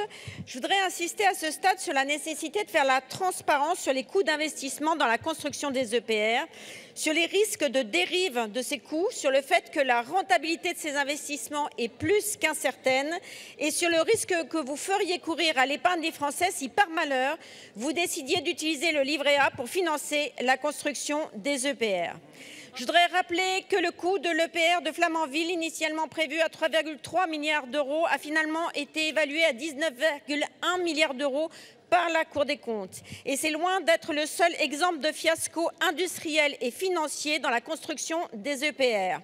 Pour l'EPR de Finlande, Olkiluoto, la facture est passée de 3,4 à 11 milliards d'euros. Pour Hinkley Point, le coût de construction a augmenté de 3 milliards de livres et les délais de construction ne cessent de s'allonger. Donc, première chose, les, les, coûts de construction des EPR ne sont pas maîtrisés. Et deuxième chose, la rentabilité de ces investissements n'est absolument pas assurée. Le coût du mégawattheure sorti de Flamanville est estimé par la Cour des comptes entre 110 et 120 euros. C'est trois fois le prix auquel EDF revend son électricité et plus de deux fois le coût du mégawattheure issu de l'éolien terrestre ou du photovoltaïque en zone méditerranéenne. Donc l'investissement dans le nucléaire n'est ni maîtrisé ni rentable. Et vous envisagez, vous envisagez pourtant d'y investir l'épargne du livret A des Français. Donc je vous invite à renoncer à ce projet irresponsable, à ne pas jouer avec l'épargne des Français et à faire la transparence sur les coûts et la rentabilité de l'investissement dans les EPR. Je vous remercie, Monsieur Nicolas Dragon. Vous avez la parole. Merci Madame la Présidente, euh, Madame la Ministre, mes chers collègues. Le groupe Rassemblement National soutient la demande de rapport portée par cet article 1er D. Nous ne cessons de le répéter. Nous sommes favorables à la construction de nouveaux réacteurs. Il est donc pertinent d'en évaluer les conséquences sur EDF comme le propose ce rapport. Nous voyons dans la construction de nouveaux réacteurs une formidable opportunité pour la France et les Français. À ce titre, j'aimerais insister sur l'alinéa 3 qui mentionne les besoins en formation, métiers et compétences d'ingénierie. Alors que le nucléaire est la troisième filière industrielle de ce pays et qu'elle représente déjà 220 000 emplois, un coup d'accélérateur sur les ressources humaines est indispensable. Les coups d'arrêt sur le nucléaire infligés par une idéologie écolo hors sol ont découragé de nombreux talents, qu'ils soient ingénieurs ou techniciens et ouvriers spécialisés. Nous en avons eu un exemple humiliant l'automne dernier, quand EDF a dû faire venir en catastrophe des soudeurs spécialisés nord-américains payés à prix d'or pour intervenir sur les travaux de maintenance de nos réacteurs, comme si dans un pays comme la France, nous n'étions pas capables de former des soudeurs. C'est une véritable honte, un scandale indigne d'un grand pays comme la France. Par ailleurs, l'ancienne directrice d'Areva, Anne Lauvergeon, qui avait d'ailleurs travaillé au cabinet de François Mitterrand, président socialiste, relevait en audition que la même déperdition s'observait dans les écoles d'ingénieurs. Or, sans matière grise et sans bras, nous ne pourrons pas relancer la filière nucléaire. La situation actuelle ne favorise pas une émulation des compétences. Songez, mes chers collègues, que des techniciens d'EDF doivent se former sur leur propre denier pour des formations à la soudure, formations non éligibles avec leur compte professionnel de formation. On en voit le résultat. Il est sans doute moins cher de faire venir des soudeurs de l'autre côté de l'Atlantique et de les payer à prix d'or avec l'argent des Français. Je vous remercie. Je vous remercie. La parole est à Madame Anne Stambach-Terre-Noire. Merci Madame la Présidente. Donc cet article propose un, rapport sur l'impact de la construction de 14 EPR. Rien que ça. Alors je sais bien que ce sont les objectifs euh, fixés par le discours de, Belfort du président, mais je ne peux pas m'empêcher de trouver que tout ça relève d'un optimisme un, petit peu délirant. Euh, je ne sais pas si vous vous rendez compte quand même qu'à l'heure où nous parlons, on en a péniblement construit un d'EPR et qu'il n'est toujours pas en service. Euh, quelques chiffres. Donc en 2007, le chantier donc, de Flamanville, puisque c'est de celui-là que je parle, devait durer 5 ans pour un coût de 3,3 milliards d'euros. Finalement, on en est plutôt euh, vers une durée d'au moins 17 ans et une facture multipliée par 6 pour arriver à près de 20 milliards. Et là donc, le plan, ben, c'est de se lancer la fleur au fusil euh, vers les, EPR de nouvelle génération, les EPR 2, avec une technique qui n'est toujours pas au point, parce qu'il manque encore 20 euh, 000 à 100 000 heures d'ingénierie pour que ça soit examiné par l'ASN et qu'on voit si tout ça est viable et efficace. Et en prime, donc, on fonce sans tenir compte de la nouvelle donne climatique. Ces EPR ne verront pas le jour avant 10 à 15 ans. Nous sommes en train de vivre une sécheresse hivernale absolument inédite. Et je rappelle, parce que certains de mes collègues ont l'air de l'oublier de manière chronique, mais il nous faut de l'eau, vous savez, pour refroidir les réacteurs. Voilà, merci. Les scientifiques s'inquiètent déjà pour l'été à venir. Notre ministre Béchu lui-même l'a dit, il faut se préparer à un scénario de plus 4 degrés en France. Et enfin, Madame la ministre, vous nous l'avez dit tout à l'heure, on construit pour le siècle qui vient. Et pourtant, tous les éléments que je viens d'évoquer sont complètement absents du champ de réflexion, alors qu'on parle d'un sujet majeur pour la population, pour la planète. Ça me paraît complètement fou et irresponsable. Je vous remercie. La parole est à Monsieur Jumel.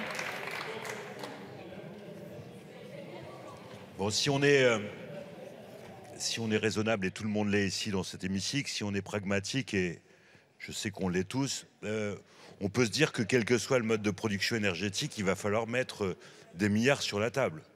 Environ 100 milliards pour le nucléaire si l'on prend en compte les nouveaux réacteurs et les carénages, c'est à peu près ça.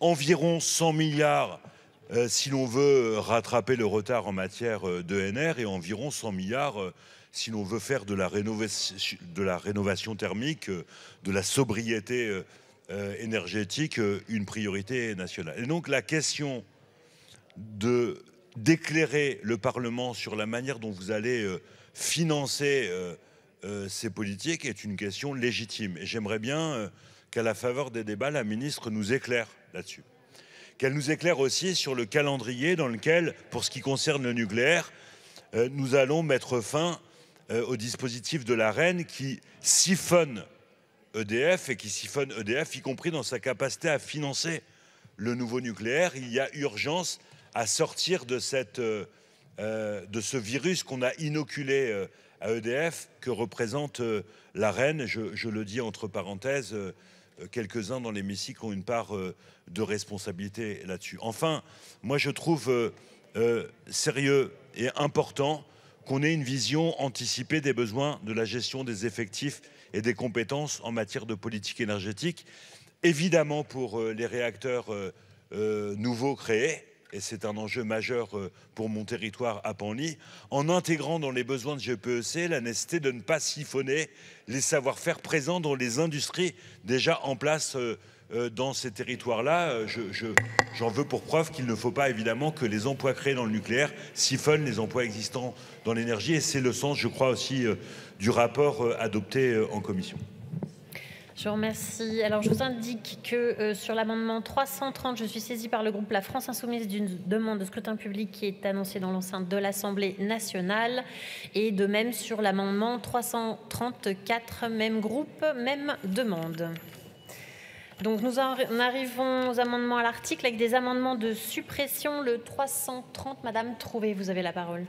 Merci Madame la Présidente. Donc par, cette, euh, par cet amendement, nous proposons la suppression de cet article et donc de ce rapport qui entérine euh, l'annonce du président Macron de la construction de 14 nouveaux EPR au, au mépris débat du, du, débat public, puisque c'est euh, voilà, avant, même la fin du débat qui, avait lieu dans le cadre de la CNDP, au mépris de la sûreté, puisque ça s'accompagne du démantèlement de l'IRSN, et au mépris des décisions et des, discussions, des décisions que nous devrions avoir sur les scénarios énergétiques dans le cadre de la loi de programmation euh, énergie-climat. Puisqu'en fait, vous faites le choix d'un des scénarios, celui qui est le plus nucléarisé de RTE, et qui prévoit euh, la construction de 14 nouveaux EPR avec les SMR. Donc c'est bien un scénario sur six de RTE qui est ici choisi avant même que nous en discutions ensemble à travers les différentes trajectoires qui sont possibles. D'autant plus, évidemment, vous nous mettez devant le fait accompli, d'autant plus que, par ailleurs, eh bien, vous avez fait voter une loi sur les énergies renouvelables, qui est en fait une loi de décélération, mais aussi que vous avez, que vous avez une inaction gouvernementale terrible en matière d'efficacité énergétique.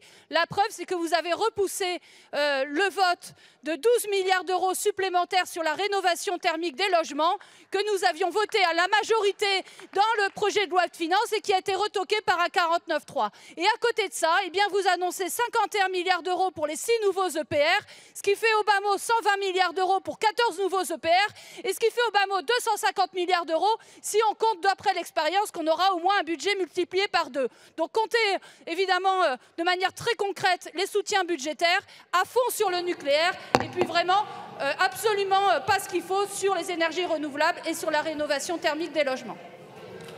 Je vous remercie, Madame la rapporteure, votre avis sur cet amendement.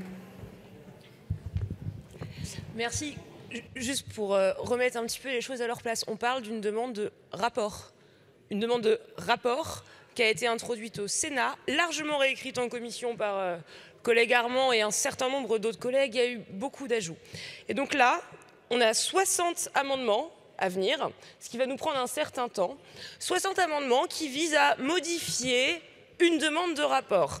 Euh, pour des parlementaires qui ont envie de débattre du fond du texte, ça ne me semble pas être euh, la solution adéquate. Défavorable. Je vous remercie, Madame la Ministre. Oui, Madame, euh, Madame la députée Trouvé, je, je pense qu'on peut trouver peut-être d'autres supports pour dénoncer euh, le manque de démocratie de la majorité, qui effectivement euh, prend en compte une demande de rapport dans un texte. Il s'agit d'une demande de rapport et non, nous ne bafouons pas la démocratie en essayant de donner des informations et de la visibilité à la représentation nationale avant, avant de prendre la décision finale et en répondant, ce qui est assez croquignolé d'ailleurs, à toutes les questions que vous avez mentionnées depuis euh, le début de ce débat, à savoir combien ça coûte, quels sont les enjeux en termes de formation, qui sont autant de questions qui sont importantes, qui sont nécessaires et sur lesquelles le gouvernement s'engage à répondre? C'est de ça qu'il est question effectivement dans cet article et je pense qu'il est un peu déraisonnable effectivement d'invoquer les grands mots et de faire des grands coups, euh, euh, des grands éclats de voix alors qu'on parle d'un rapport de transparence, d'information donné aux parlementaires. Avis défavorable. Je vous remercie. Madame Lernous, vous avez la parole. C'est parfois par euh, des demandes de rapport qu'on réussit à inscrire des objectifs chiffrés et le nombre de 14 réacteurs est donc ainsi inscrit dans cette loi. Ce n'est pas un rapport anecdotique qui tend à évaluer l'ensemble des différents scénarios qui ont été élaborés par RTE. Parce que comme l'a très justement rappelé ma collègue Aurélie Trouvé, il s'agit là de la mise en application du, du scénario le plus nucléarisé de RTE. En ça, vous préemptez donc le choix des Françaises et des Français, des députés qui siègent par rapport à la loi énergie-climat, dont on ne sait pas si elle va être soumise à notre vote ici. Et donc, vous ne pouvez, et vous avez peut-être raison, Madame la Ministre, de dire qu'il y a multiples exemples dans cette loi où la démocratie est relativement tordue. Pour autant, il me semble aussi, en faisant le parallèle avec euh, la loi sur les énergies renouvelables et votre volonté qui n'est quand même pas de les favoriser, c'est la raison pour laquelle cette loi, nous nous sommes abstenus parce qu'elle c'était une mauvaise loi tout simplement. Et vous n'avez pas indiqué le même nombre d'éoliennes, de puissance installée en matière d'éoliennes, de puissance installée en termes de géothermie, de puissance installée en, en termes euh, d'énergie photovoltaïque. Tout cela, vous avez refusé de l'inscrire dans la loi. Inscrire ici 14 réacteurs, c'est quelque chose de significatif. Ça préempte le débat démocratique sur notre mix énergétique. Ça nous place devant le fait accompli. Et j'ai envie de dire, c'est parce que le nucléaire n'est pas capable d'avoir un vrai débat dans notre pays, visiblement, et nous n'avons pas la capacité d'ouvrir un vrai débat sur notre mix énergétique, parce que oui, des scénarios existent, du 100% énergie renouvelable en se passant du nucléaire, et oui, la part du nucléaire va mécaniquement diminuer, parce que nos centrales vieillissent, et nous ne pourrons pas indéfiniment reporter leur âge de départ légal à la retraite. Je vous remercie. Je vais donc mettre aux voix cet amendement il y a eu un double avis défavorable commission-gouvernement. Je vous prie de bien vouloir regagner vos places. Le scrutin est ouvert.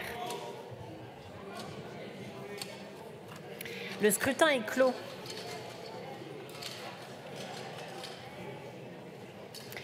Alors, votant 153, exprimé 148, majorité 75 pour 32 contre 116, l'Assemblée nationale n'a pas adopté. Alors, nous avons donc sur le vote de l'amendement 610, je suis saisie par le groupe socialiste et apparenté d'une demande de scrutin public qui est annoncée dans l'enceinte de l'Assemblée nationale. Et nous en arrivons à l'amendement 334. Monsieur Lenné, vous avez la parole. Oui, merci Madame la Présidente. La rapporteure Bréjon voudra bien supporter qu'il y ait une opposition dans ce pays et qui euh, puisse s'exprimer quand un texte de loi lui est soumis. Sinon, il fallait prendre toutes les décisions en Conseil de politique nucléaire, laisser Macron faire tout seul.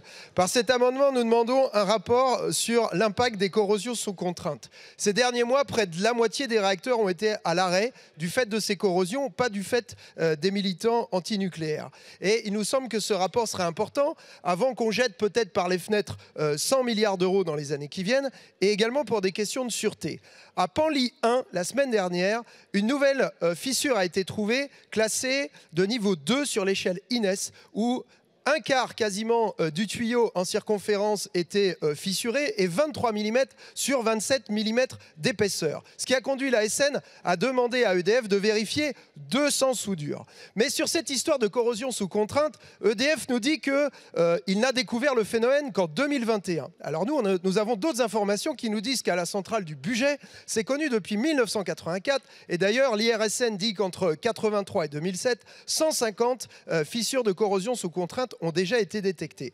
Je vais terminer par une citation du CEA en 2008 qui, dans une étude, disait Le principal phénomène de corrosion localisée rencontré en milieu primaire et secondaire est la corrosion sous contrainte, qui est un problème industriel critique touchant non seulement les gaines des éléments combustibles, mais également les alliages base nickel et les aciers inoxydables, et donc pouvant affecter la plupart des composants de l'îlot nucléaire, nucléaire pardon, interne, couvercle, tuyauterie, générateur et vapeur.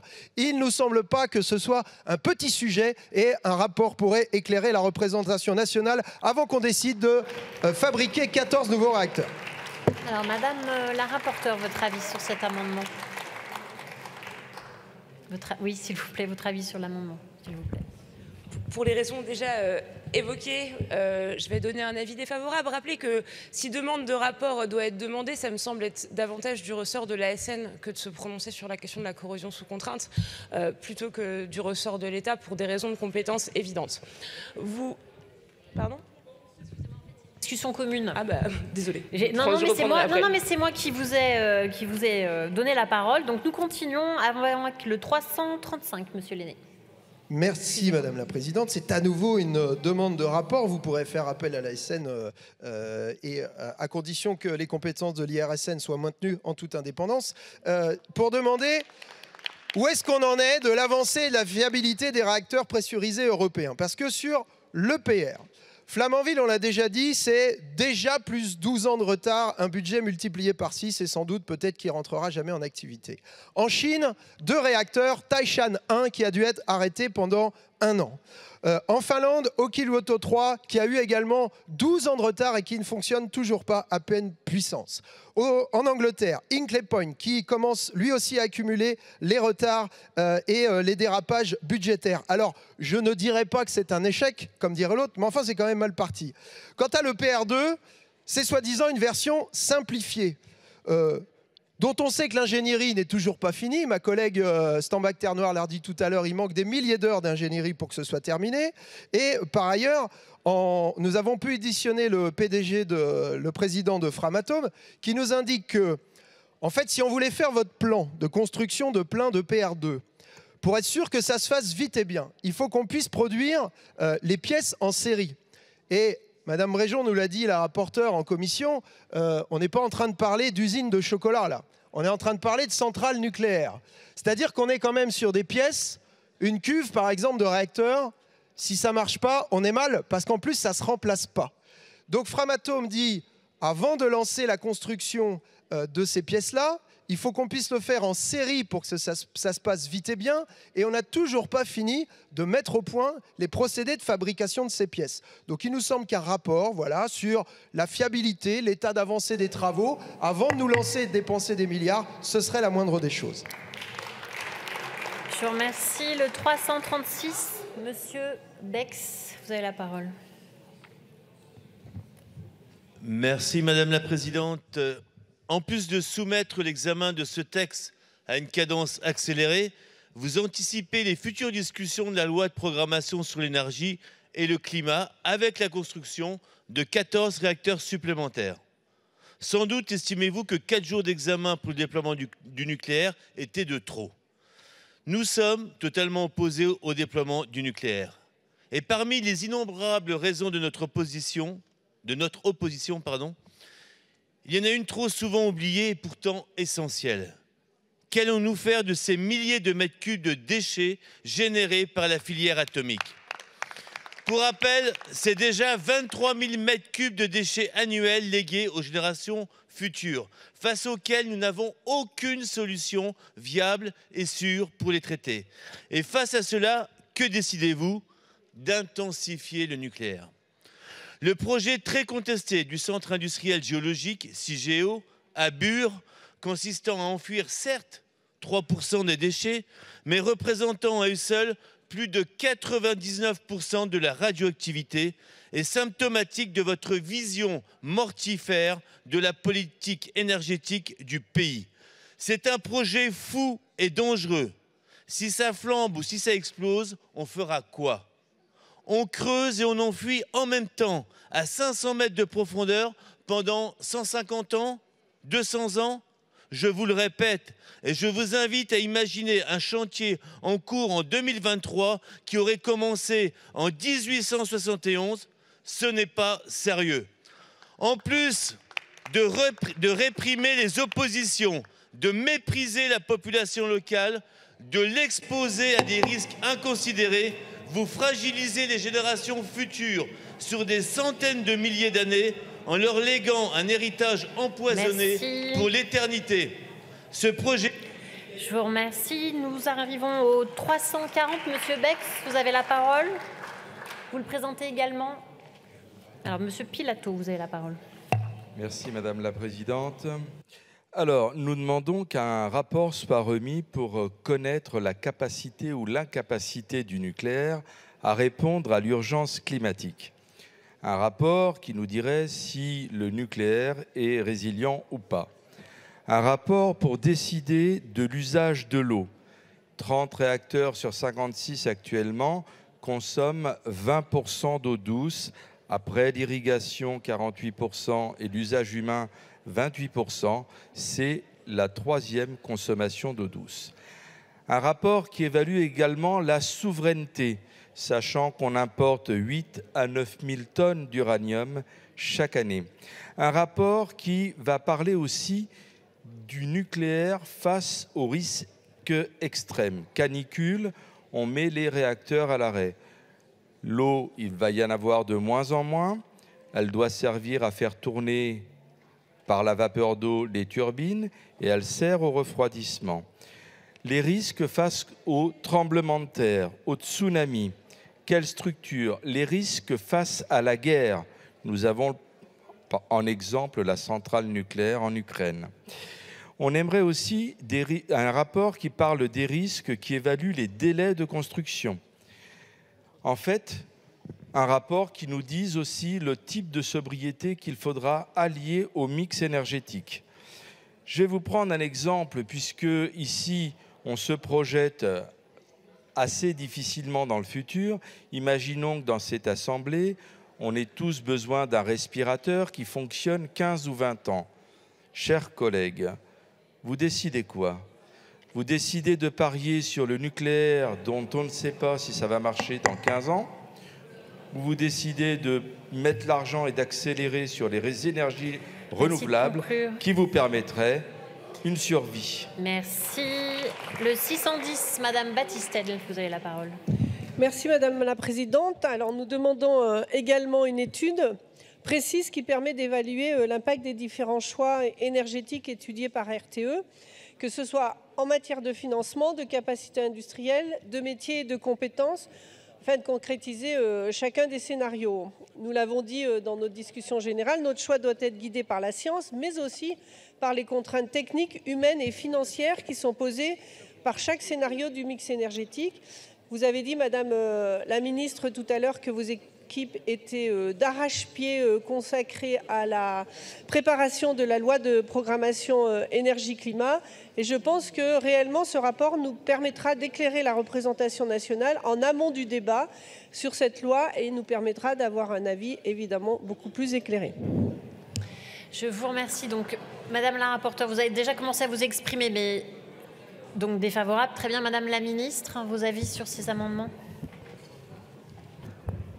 Non, mais ils sont euh, défavorables pour aller très vite. En fait, euh, la majorité de, ces amendements renvoient à des choses qui sont déjà couvertes par une information.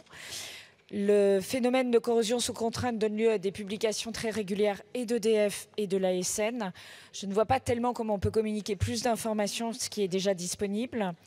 S'agissant euh, de l'avancée sur les technologies, c'est déjà couvert par, un des rapports que, que vous avez voté en commission. S'agissant de la gestion des déchets radioactifs, c'est également couvert par les publications qui sont faites annuellement sur la couverture du coût des déchets par euh, le plan national des déchets qui a été publié le 15 décembre dernier et par euh, des communications régulières de la part de l'ASN euh, et des autorités en- en charge. S'agissant de, l'urgence climatique, en réalité, les dossiers d'autorisation de construction doivent évidemment examiner les scénarios de réchauffement climatique pour autoriser de futures centrales nucléaires. Donc là aussi, c'est satisfait. Et je veux rappeler que vous trouvez dans le rapport RTE sur nos futurs euh, énergétiques auxquels vous faites référence assez régulièrement tout un chapitre sur le réchauffement climatique et l'impact que cela a à horizon 2050 sur le nucléaire en tenant compte de différents scénarios de réchauffement du GIEC et qui montrent que l'impact est relativement mesuré. Donc tout ça pour dire qu'en fait, c'est assez largement couvert. Alors il y a la demande de Madame Baptistel. Je- J'aurais euh, la faiblesse de lui demander de se rapporter déjà aux 1000 pages euh, euh, de l'étude RTE qui détaille les six scénarios et de considérer que sur celui que porte le, le gouvernement et qui n'est pas une surprise et qui effectivement vous permet d'avoir des éléments, vous pouvez euh, en déduire ce que font 12 nucléaires, euh, 11 réacteurs, 10 réacteurs euh, par, euh, euh, je dirais, une analyse euh, euh, un peu linéaire euh, de, l'impact, euh, qu'on qu'on comprenne cette, cette approche qui est celle que nous portons et effectivement qui vous donne toute information sur des mix qui sont un petit peu différents en matière de réacteurs nucléaires, puisque c'est la réponse que vous cherchez à avoir. Donc il me semble que c'est assez pleinement satisfait. C'est donc des demandes de retrait ou avis défavorables. Je vous remercie, Monsieur Jumel. Vous avez la parole.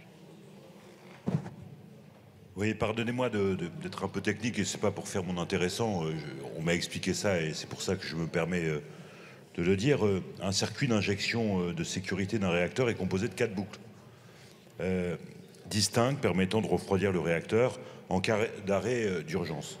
Chaque boucle comprend deux branches.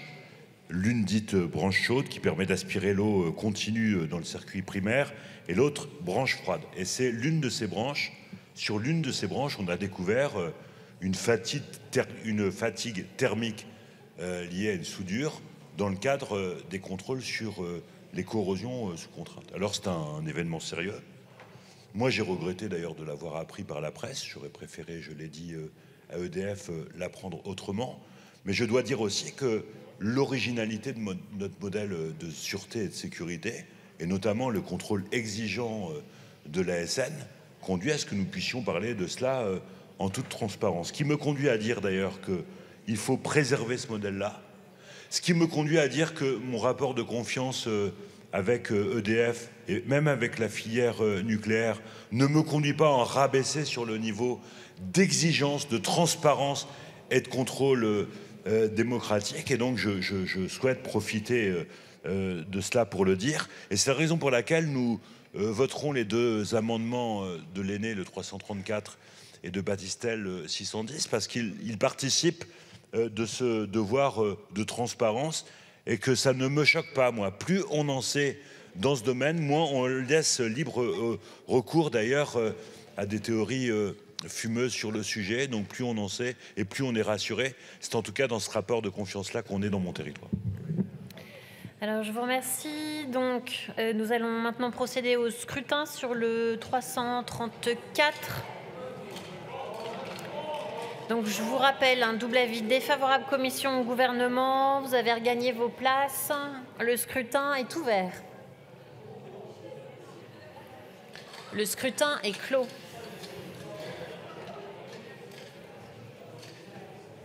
Donc votant 148, exprimé 147, majorité 74 pour, 39 contre 108, l'Assemblée nationale n'a pas adopté.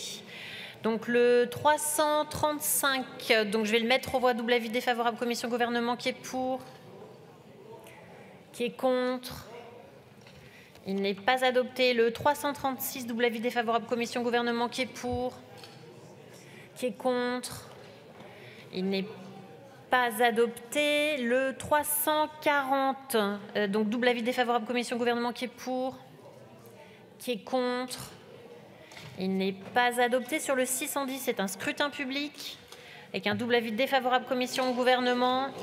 Vous êtes toujours à votre place. Le scrutin est ouvert. Le scrutin est clos. Donc votant 146, exprimé 145, majorité 73 pour 38 contre 107, l'Assemblée nationale n'a pas adopté. Alors, je vous informe que sur le vote de l'amendement 333, je suis saisie par le groupe de la France Insoumise d'une demande de scrutin public. Le scrutin est annoncé dans l'enceinte de l'Assemblée nationale. Et nous en sommes donc au 244. Madame Lernous, vous avez la parole. Oui, euh, l'objectif de 14 réacteurs nucléaires s'est retrouvé donc euh, dans cet article ajouté euh, certes au Sénat, mais le gouvernement n'a pas proposé de supprimer la mention des 14 réacteurs. Il est vrai qu'on l'a un peu aménagé parce que, en termes de séparation des pouvoirs, faire euh, référence au discours d'un président de la République dans un texte de loi était quand même assez cocasse. Donc finalement, on est resté uniquement sur le chiffre qui a été énoncé par le président de la République. C'est bien comme ça qu'on définit une programmation pluriannuelle de l'énergie de manière démocratique. Le président de la République annonce et le reste doit suivre. Cet amendement est donc très simple et Madame la ministre, Madame la rapporteure, si vous croyez en ce que vous avez dit, c'est-à-dire qu'on n'est pas dans un texte programmatique, mais qu'on est là pour avoir un rapport sur les moyens d'EDF en fonction des différents scénarios énergétiques euh, proposés par RTE. Je vous enjoins à donner un avis favorable à cet amendement. Une fois ne sera pas coutume. Euh, pour euh, supprimer la mention de 14 réacteurs et de faire référence aux différents scénarios, parce que c'est de ça dont nous avons besoin, un rapport pour voir comment on met en œuvre les différents scénarios. Je vous remercie. Madame la rapporteure, votre avis sur cet amendement? Oui, je, comprends bien votre demande, mais là encore, c'est la différence de vue qu'on a sur la question. Euh, les 6 plus 8 EPR2, vous voulez les supprimer, nous, on veut les construire. donc je ne vais pas l'enlever du rapport. Avis défavorable. Je vous remercie, Madame la Ministre. Oui, vous ne pouvez pas à la fois nous demander d'avoir tous les éléments sur le projet que nous portons et ensuite refuser qu'on fasse un rapport sur le projet que nous portons. Il y a quelque chose d'assez incohérent. Donc évidemment, c'est un avis défavorable. Et Madame la RNOS, cessez de répéter qu'il n'y a pas de débat démocratique sur euh, euh, cette question alors qu'on est en hémicycle aujourd'hui en train de faire le débat démocratique et que le plus le plus saisissant, c'est qu'on fait un débat sur un rapport. Enfin, je pense que ceux qui nous écoutent se demandent un peu ce qui se passe. Je vous remercie. Madame Lernos, vous avez la parole. Je ne suis pas d'accord, Madame la Ministre. Quand on inscrit dans un texte de loi et quand on a dit et répété sur tous les plateaux télé que c'était un texte pour accélérer les procédures, ce qu'était la réalité du texte ENR où on s'est embourbé dans des procédures qui rendent encore plus compliqué le développement des énergies renouvelables. Et c'est pour ça qu'on s'est abstenu. Quand sur le nucléaire, on dit que c'est les procédures qui freinent le développement du nucléaire, de qui se moque-t-on? Les retards de Flamanville, c'est dû à des procédures, à la concertation? C'est dû à des procédures environnementales, au droit de l'urbanisme?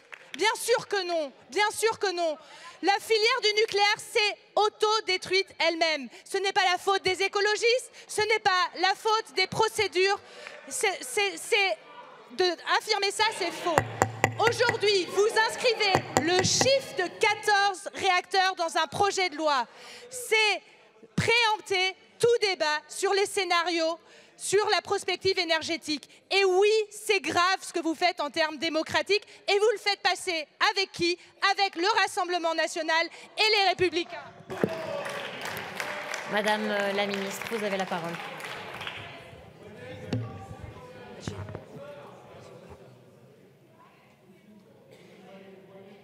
Du coup, je suis tellement saisie que j'en ai perdu le, fil de, ce que je voulais vous répondre sur les 14 réacteurs. C'est terrible. Euh, et donc voilà, je vais.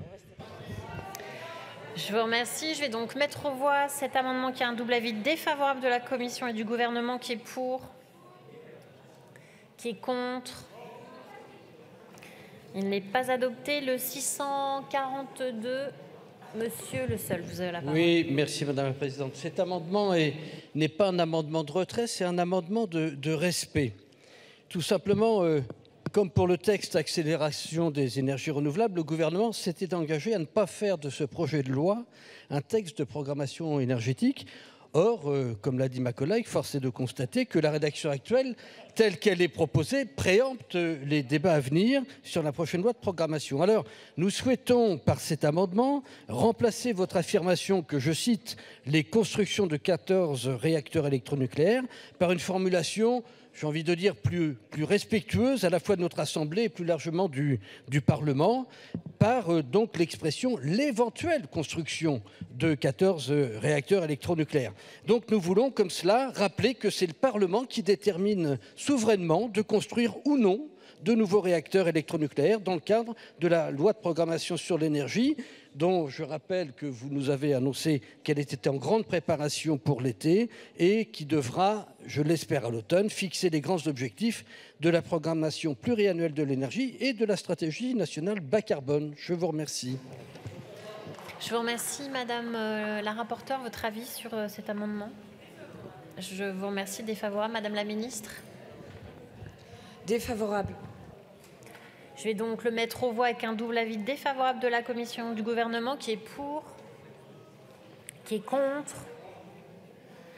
Il n'est pas adopté. Le 333, Madame Trouvé, vous avez la parole. Merci, euh, Madame la Présidente. Madame la Ministre, vous vous offusquez du fait qu'on veuille débattre d'un rapport, mais ce n'est pas n'importe quel rapport. Il ne faudrait pas non plus prendre tout le monde pour des imbéciles. C'est un rapport qui entérine les annonces sur toutes les ondes par le président Macron de la construction de 14 nouveaux EPR. Et vous voulez le mettre dans le projet de loi à travers euh, euh, la mention de ce, rapport. Donc euh, voilà, on n'est pas, on on n'est pas né non plus de la dernière pluie. Donc, par l'amendement que nous proposons ici, nous précisons, nous souhaitons préciser dans ce rapport que la construction potentielle de 14 nouveaux réacteurs soit contrôlée, supervisée par EDF, qui devra être propriétaire du terrain comme des infrastructures nucléaires et de tous les équipements connexes. Parce qu'on a bien compris, Madame la rapporteure, que pour les SMR, vous comptiez sur le marché et les start-up, je vous cite, mais au moins, eh bien, nous souhaitons avoir la confirmation, euh, l'affirmation que ces 14 nouveaux EPR seront bien sous la supervision totale et le contrôle total d'EDF. Merci. Je vous remercie. Madame la rapporteure. Défavorable, Madame la Ministre? Défavorable. Je vous remercie. Je vais donc le mettre au voie avec un double avis défavorable de la commission de gouvernement. Je vous rappelle que c'est un scrutin public sur le 333. Alors, je suis passée au vote, Monsieur Coulombe. Je vous ai pas vu, euh, je vous ai pas vu à temps. Je vous prie de, vous- de bien vouloir regagner vos places. Le scrutin est ouvert.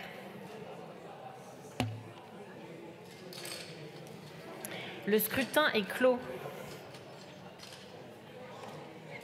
Donc votant 136 exprimés, 131 majorité, 66 pour, 30 contre 101, l'Assemblée nationale n'a pas adopté. Donc nous arrivons à une discussion commune.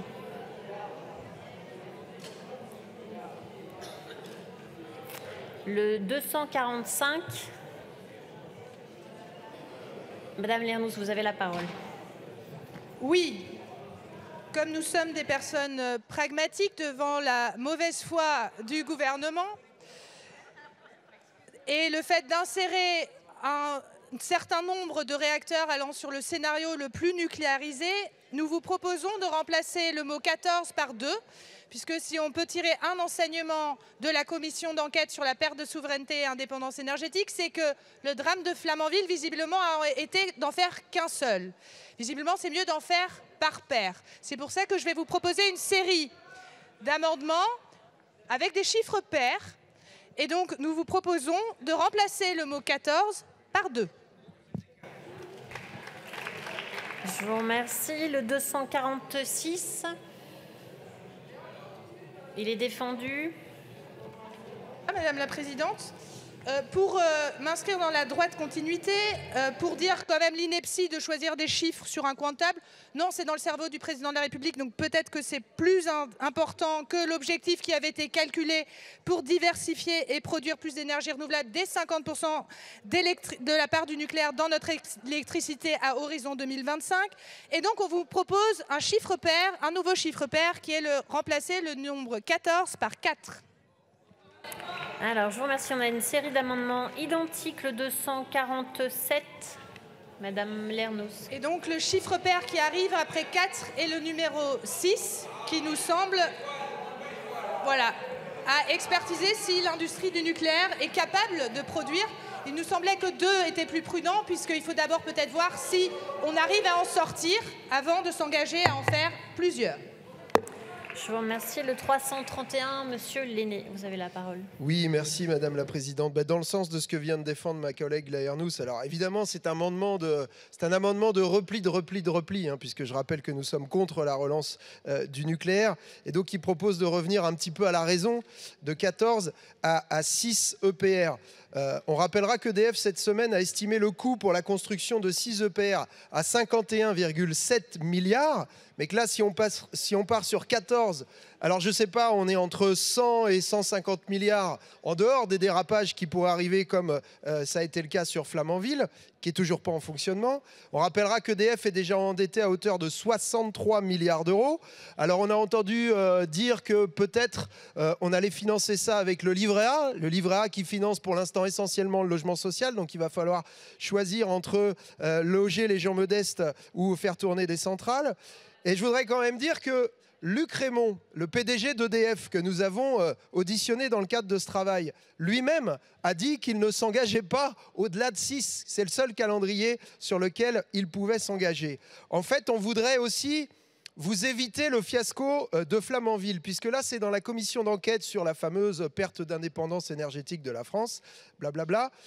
On a eu euh, la chance euh, d'auditionner Madame euh, Nathalie Kosciusko-Morizet qui était en fonction à l'époque du lancement de Flamanville. Et ce qu'elle nous a dit, c'est que à l'époque, tout le monde savait qu'en fait, l'EPR n'était pas prêt, que d'un point de vue technique, technologique, on ne savait pas faire. Mais que simplement, à l'époque, le politique avait estimé que l'opinion était prête pour relancer le nucléaire. Et je crois que c'est ce que vous êtes en train de faire là, mais que c'est un très mauvais calcul. Donc, nous voulons vous éviter cet affront d'un fiasco supplémentaire. Revenez à la raison. Je vous remercie. Et le 248, Madame Lernos, vous avez la parole. Alors, c'est pour, euh, j'aurais envie de dire, une précision rédactionnelle pour préciser la pensée et la transcription réelle du discours du président de la République. Vous voyez qu'on est vraiment sur du repli de repli, puisque je rappelle que euh, Monsieur Macron a fait ce discours à Belfort, mais ensuite a été élu grâce aux voix, y compris de la gauche et des écologistes qui ont fait barrage à l'extrême droite et qui n'ont donc par là même pas validé du tout son programme sur le nucléaire. Mais pour préciser sa pensée, nous proposons de remplacer le chiffre 14 par 6 et l'étude de 8 autres qui, me semble-t-il, est plus fidèle à ce qui a été énoncé. Je vous remercie, Madame la rapporteure, vos avis sur ces amendements. 2, 4, 6, 8, 10, 12, 14. Euh, c'est pas arrivé par hasard, les 14. D'une part, c'est issu des travaux RTE. Alors, euh, les travaux RTE n'ont pas été faits sur un coin de table. 6 minimum parce que c'est le seuil à partir duquel la construction de paires en série euh, apparaît euh, comme étant rentable. Voilà, je, donnerai évidemment un avis défavorable. En fait, ce que je voudrais vous dire, c'est que je trouve que, alors qu'on est confronté à une crise de souveraineté importante, à une crise climatique importante, euh, à une crise sur euh, les prix de marché importants, ce genre d'amendement, c'est vraiment, mais alors vraiment pas à la hauteur du débat. hein. Alors, je vous remercie, Madame la Ministre. Oui, et Madame la députée, je crois que si vous voulez avoir les informations sur les 14 réacteurs, et je partage totalement votre, euh, rédaction de l'amendement 248 qui dit 6 plus 8, mais à la fin, il faut donc donner les chiffres sur 14, parce que 6 et 8, ça fait 14. Je suis désolée, et donc ça sera un avis défavorable. Je rappelais, Monsieur Lenné, puisque vous indiquiez que les investissements dans six réacteurs étaient considérables, 50 milliards. Kennedy vient d'annoncer ce soir 100 milliards d'euros d'investissement dans le seul réseau. Et ils sont financés, ces 100 milliards d'euros. Donc cessons de dire qu'investir dans notre système électrique n'est pas un investissement qui est au bénéfice de la nation, puisque ça a des retombées, des retombées économiques, des retombées de compétitivité, des retombées pour payer moins cher les énergies fossiles que nous importons, pour diminuer le poids des énergies fossiles. C'est ça qui est en jeu. Et c'est ça qui va aussi financer notre futur programme nucléaire. Et donc si vous voulez avoir la meilleure connaissance du programme que nous pouvons porter, effectivement, il faut partir sur 14. Et je peux m'engager sur ces bancs et vous dire que la ligne que nous portons, elle est toujours la même. Six réacteurs dans un premier temps, plus la mise à l'étude de 8. Mais pour décider, pour avoir les budgets, pour avoir les compétences, il faut être sérieux, il faut le faire sur 14. Et vous pouvez assez facilement en déduire 2, 4, 6, 8, 10, 12 sauf que vous perdez l'effet de série. L'effet de série, c'est que le 14e coûtera nettement moins cher que le premier, ça vous le savez aussi bien que moi. Je vous remercie. Donc j'ai deux prises de parole en pour et contre. Donc Monsieur Armand, vous avez la parole. Merci madame, euh, merci madame la présidente. Je trouve que vous, vous venez de nous faire vivre une séquence un peu gênante. Euh, gênante, par vos, gênante par vos contradictions, parce que si, l'on en croit ce que vous venez de dire, vous accordez une, une, importance suprême au rapport. Et donc le fait de donner un nombre de réacteurs dans un rapport serait faire acte de politique industrielle. Et donc j'en déduis que vous êtes prêt à faire votre politique industrielle comme ça, à coup d'amendement de repli, 2, 4, 6, 8, 10, comme vient de, le mentionner la rapporteure. Et, honnêtement, c'est un peu euh, inquiétant. Et, gênante, aussi par les approximations que vous faites sur la commission d'enquête que j'ai l'honneur de rapporter. Parce que si vous aviez écouté jusqu'au bout ce que nous disaient nos auditionnés, ils disaient que pour le PR de Flamanville, la question n'est pas de faire un ou deux réacteurs, mais d'avoir la capacité industrielle euh, fabriquée en série et donc d'avoir une chaîne industrielle. Puisque, pour citer un autre auditionné, l'énergie nucléaire, c'est l'industrie de l'industrie. Tant que, vous, tant que vous continuerez à considérer que l'énergie n'est pas une industrie, nous irons dans le mur. Je vous remercie. Monsieur Coulombe, vous avez la parole.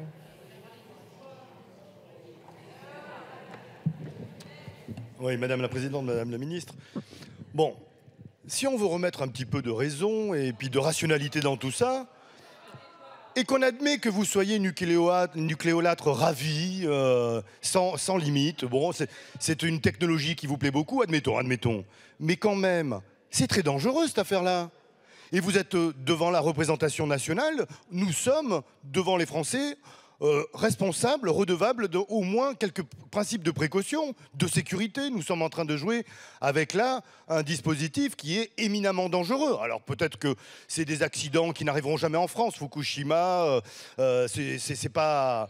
Non, mais quand même, on devrait faire preuve du minimum syndical de, de précaution dans cette histoire. Or, tout ce qu'on vous propose comme dispositif pour avoir un minimum de, maîtrise des éléments qui nous permettent de mesurer l'efficacité et la sécurité de tout ce dispositif, vous l'envoyez balader. Alors moi je me dis, mais qu'est-ce qui s'est passé? Vous avez suivi euh, aveuglément euh, les, les, directives d'un gourou qui vous a dit un matin en se levant, eh bien il nous faudra 14 centrales nucléaires de plus. Parce que je vous rappelle qu'il y a quelques mois à peine, M. Macron avait quand même eu l'idée géniale de dire qu'il allait équiper la France de mini-centrales nucléaires partout sur le territoire.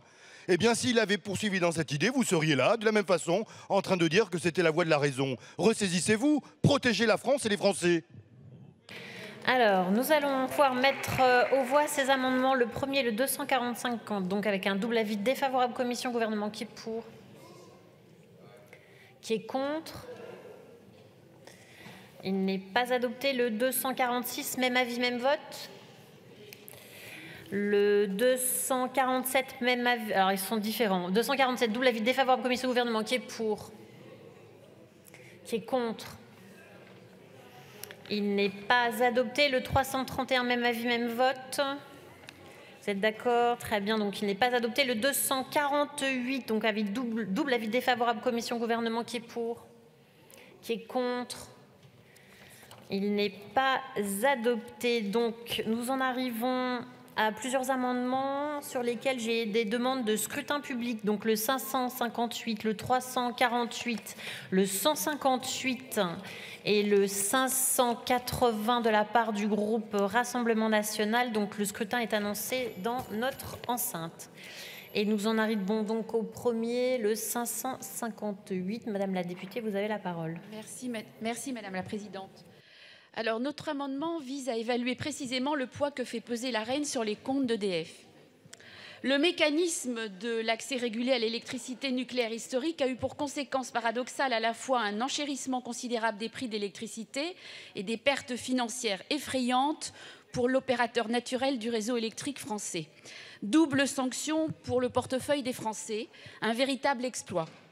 S'il y a quoi que ce soit d'historique dans cette affaire, c'est plutôt cette incroyable erreur de jugement qui a mené à ce que l'énergie la plus économique à produire et la plus propre du monde revienne aussi chère que les plus onéreuses et les plus polluantes. Aucune relance pérenne du nucléaire ne pourra se faire tant que ce mécanisme sera en place. Il convient donc d'en faire le bilan le plus rapidement possible et, espérons-le, et surtout d'en sortir. Merci. Je vous remercie. Madame la rapporteure, votre avis sur cet amendement? Je vous remercie. Madame la ministre Défavorable. Monsieur Tanguy, vous avez la parole.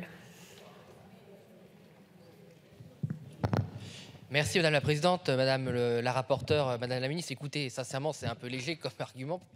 Euh, le, à, la commission d'enquête, je parle sous le contrôle du rapporteur, je ne voudrais pas euh, abuser, mais là, sincèrement, il le, enfin, je pense qu'il le confirmera. J'ai plusieurs fois, au nom du groupe Rassemblement National, demandé aux différents euh, PDG d'EDF et à d'autres acteurs économiques le coût qu'avait représenté l'AREN depuis 10 ans pour EDF. personne n'est capable, personne n'a répondu. Ils ont tous, quel qu'ils soient, botté en touche.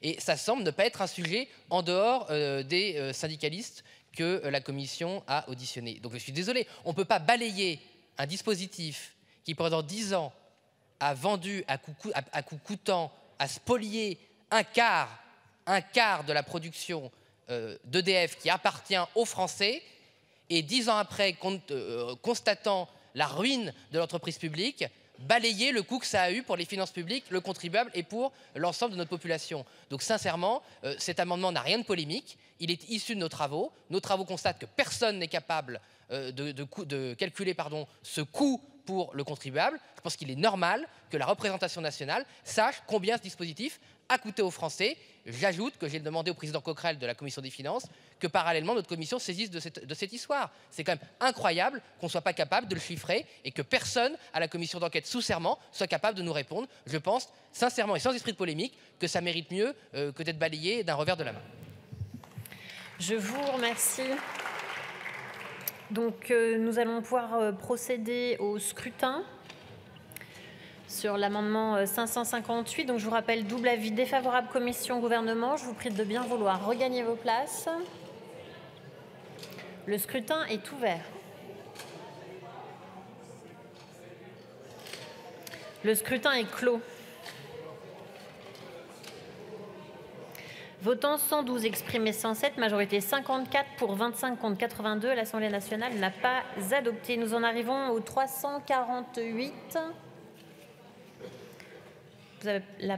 Merci, Madame la Présidente. Il s'agit euh, d'un amendement, euh, relativement euh, similaire à celui de, Madame Goulet euh, dans des termes euh, différents, mais ça me permet de, finalement de demander euh, une réponse à Madame la rapporteure et à Madame la ministre dans les termes évoqués par, par Monsieur Tanguy.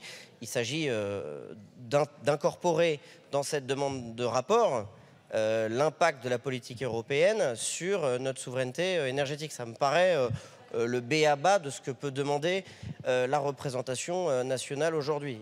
si on reprend la question de l'arène, l'arène n'est pas une concurrence, c'est une fausse concurrence puisqu'il s'agit de créer une concurrence en demandant à EDF de vendre à perte l'électricité qu'elle produit. Donc comprenez qu'on ait un problème intellectuel à comprendre ce dispositif qui est un système qui a dépecé euh, et euh, abîmer notre fleuron industriel énergétique national. Et donc, on a besoin que ce rapport incorpore euh, ce, sujet. Et donc, Madame la rapporteure et, Madame la ministre, n'hésitez pas à donner euh, à Monsieur Tanguy euh, les réponses qu'il vous a, les- euh, à la question euh, qu'il vous a posée tout à l'heure.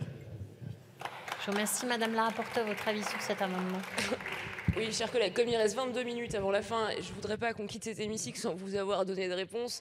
Non, mais sur l'ensemble des questions qui sont posées, je, comprends qu'elles puissent l'être, mais le rapport duquel on parle, c'est un rapport euh, qui est éminemment technique. Euh, sur la construction des 14 futurs EPR, euh, qui embarque notamment des questions de formation, de structuration de la filière, mais qui ne sont pas des questions... qui touchent au financement ou au marché de l'électricité. À la limite, je vais vous dire, sur la question de la reine, vous feriez un rapport, une demande de rapport séparé, euh, je pourrais le comprendre. Mais là, ça n'a vraiment pas sa place dans l'article 1D. Donc défavorable. Je vous remercie, Madame la Ministre. Même avis. Je vous remercie. Je vais donc le mettre euh, aux voix. Je vous rappelle que c'est un scrutin public. Je vous prie de bien vouloir regagner vos places. Donc avec un double avis défavorable commission gouvernement, le scrutin est ouvert.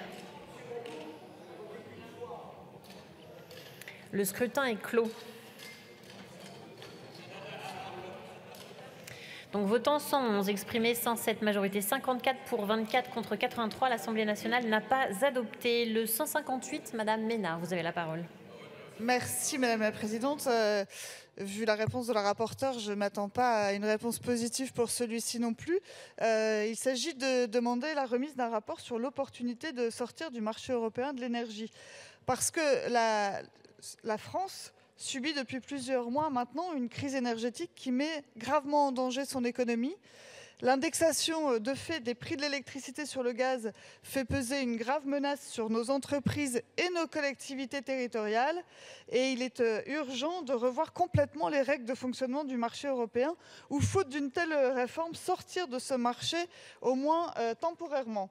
Il faut d'ailleurs souligner que les promesses originelles effectuées pour convaincre de la mise en place d'un tel marché unique européen de l'énergie nous ont plus que laissé sur notre faim. Je vous rappelle quelles étaient ces, promesses. C'était notamment la baisse des prix de l'électricité, ça on peut, on, peut, dire que c'est raté, l'encouragement à l'innovation et la construction de nouvelles capacités productives, ça n'a pas non plus été démontré. Alors le moins qu'on puisse dire, euh, c'est que ces promesses n'ont pas été tenues. Euh, je pense que ça fait rire sur les bancs euh, du gouvernement. Mais euh, je pense que ça ne fait pas trop rire les Français parce que depuis des années maintenant, ce mécanisme commun de fixation du prix de l'énergie a vraiment déstabilisé le fonctionnement du marché français et a pénalisé les Français. Et cet amendement vise donc à mesurer les impacts de ces règles pour les particuliers pour nos entreprises qui sont gravement impactées et aussi pour nos collectivités françaises, parce qu'on parle toujours de nos petites entreprises et de nos petits artisans, mais ça impacte aussi euh, euh, gravement la capacité à investir de nos collectivités territoriales et évidemment examiner l'absolue nécessité de sortir de ce marché européen qui n'a cessé de desservir notre économie. Je vous remercie. Je vous remercie, Madame la rapporteure. Votre avis sur cet amendement Défavorable, Madame la Ministre Défavorable. Défavorable. Je vais donc euh, le mettre aux voix. Je vous rappelle que c'est un scrutin. Alors, c'est que là, je l'ai mis, euh, j'ai commencé à le mettre aux voix, Monsieur le Président. Donc, euh, bah, écoutez, le, le- le scrutin est lancé. Donc, je vous invite à, à vous signaler plus, plus tôt si vous en êtes d'accord. Donc, je vous prie de bien vouloir regagner vos places. Le scrutin est ouvert. Le scrutin est clos. Donc votant 115, exprimé 114, majorité 58 pour 31 contre 83, l'Assemblée nationale n'a pas adopté. Donc nous en arrivons au 580. Madame la députée, vous avez la parole. Merci Madame la Présidente. L'audit demandé par le Sénat était restreint à la seule ASN. Nous considérons qu'un audit est nécessaire sur l'ensemble des métiers de la filière nucléaire. Aucun des métiers nécessaires à cette filière ne doit être écarté du compte CPF. Je pense particulièrement aux formations soudure. Ces 700 heures d'apprentissage aux différentes méthodes, différents procédés de soudage qui peuvent être complétés par des mentions complémentaires. Sont visées donc par cet amendement les formations relevant du registre spécifique indispensable aux travailleurs pour exercer dans certains secteurs stratégiques, notamment celui du nucléaire. Il s'agit donc des formations QS ASME-X et RCC-M. Le coût est entre 2500 et 4500 euros plus 500 euros de certification. Depuis décembre 2022, ces formations ne sont plus prises en compte par les comptes CPF. Alors même que nous examinons un projet de loi qui détermine la construction de 6 à 14 EPR, ainsi que le prolongement du parc existant, il me semble quand même essentiel que ces qualifications de soudeur soient à nouveau éligibles au compte CPF. Il s'agit là de compétences cruciales quant à la, réalisation de ces projets. Merci. Je remercie. Madame la rapporteure, votre avis sur cet amendement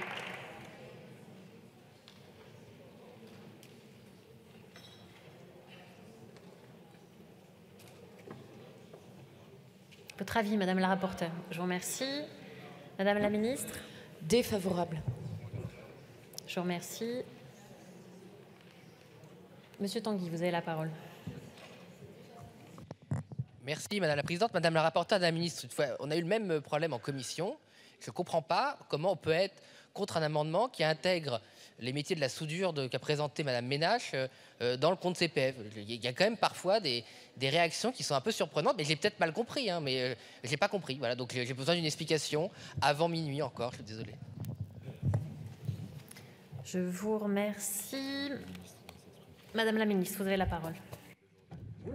Comme je l'ai déjà exprimé en commission et Madame la rapporteure aussi, votre amendement est déjà satisfait parce qu'il couvre l'ensemble des compétences. Et comme je l'ai déjà indiqué et annoncé, la filière elle-même présente une étude compétence par compétence le 15 avril et son plan d'action de formation avec notre concours le 15 mai.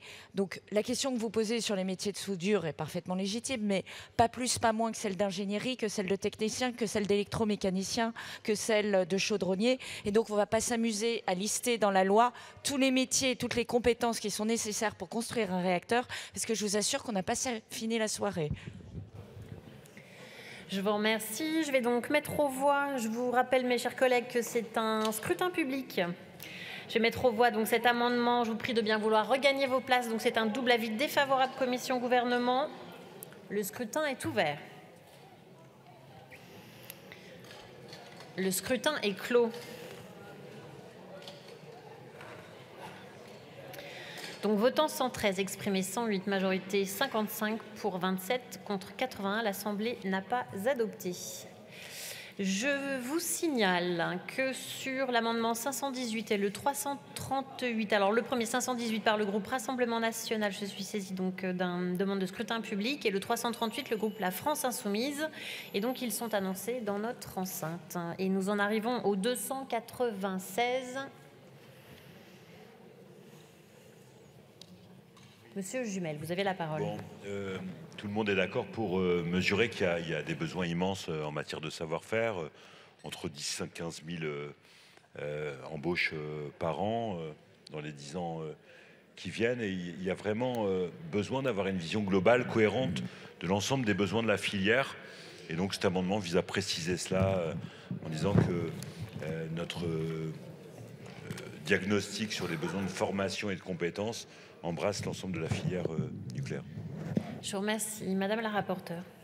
Oui, c'est une, une justification de bon sens en lien avec euh, le cœur du rapport, ce qui n'est pas le cas de, de l'ensemble des amendements proposés. Donc avis euh, favorable. Je vous remercie. Madame la ministre. Favorable également. Je vous remercie. Je vais donc euh, mettre aux voix cet amendement qui a un double avis favorable commission gouvernement qui est pour, qui est contre. Il est adopté. Nous en arrivons au 467. Monsieur Lamirou, vous avez la parole.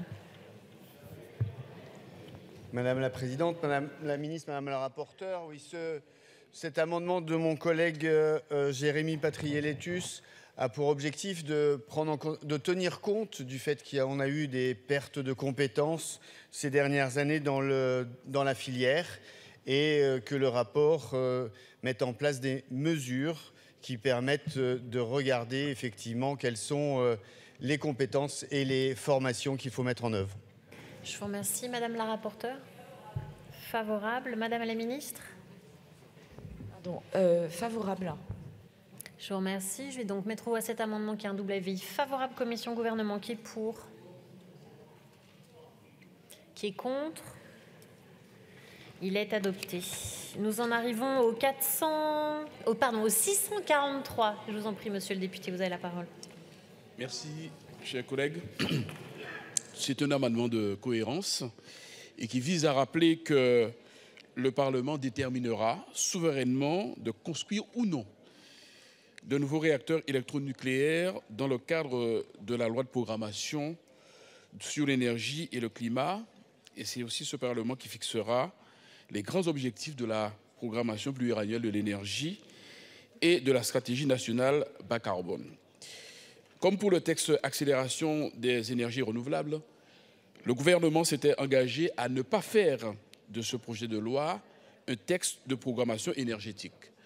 Or, force est de constater que la rédaction de telle, euh, telle que proposée préempte les débats à venir sur la prochaine loi de programmation sur l'énergie et le climat.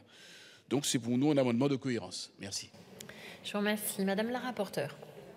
Défavorable. Madame la ministre Défavorable, ça n'a rien à voir avec la programmation nucléaire.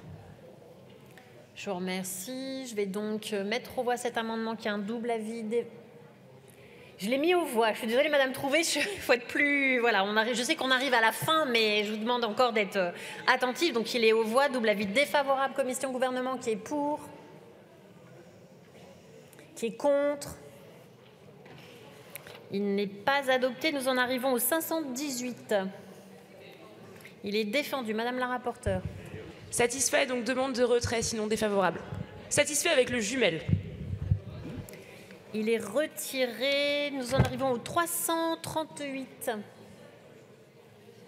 Qui le défend, le 338 Alors, pourquoi est-ce que moi j'ai le 338 directement? Le 518 est passé.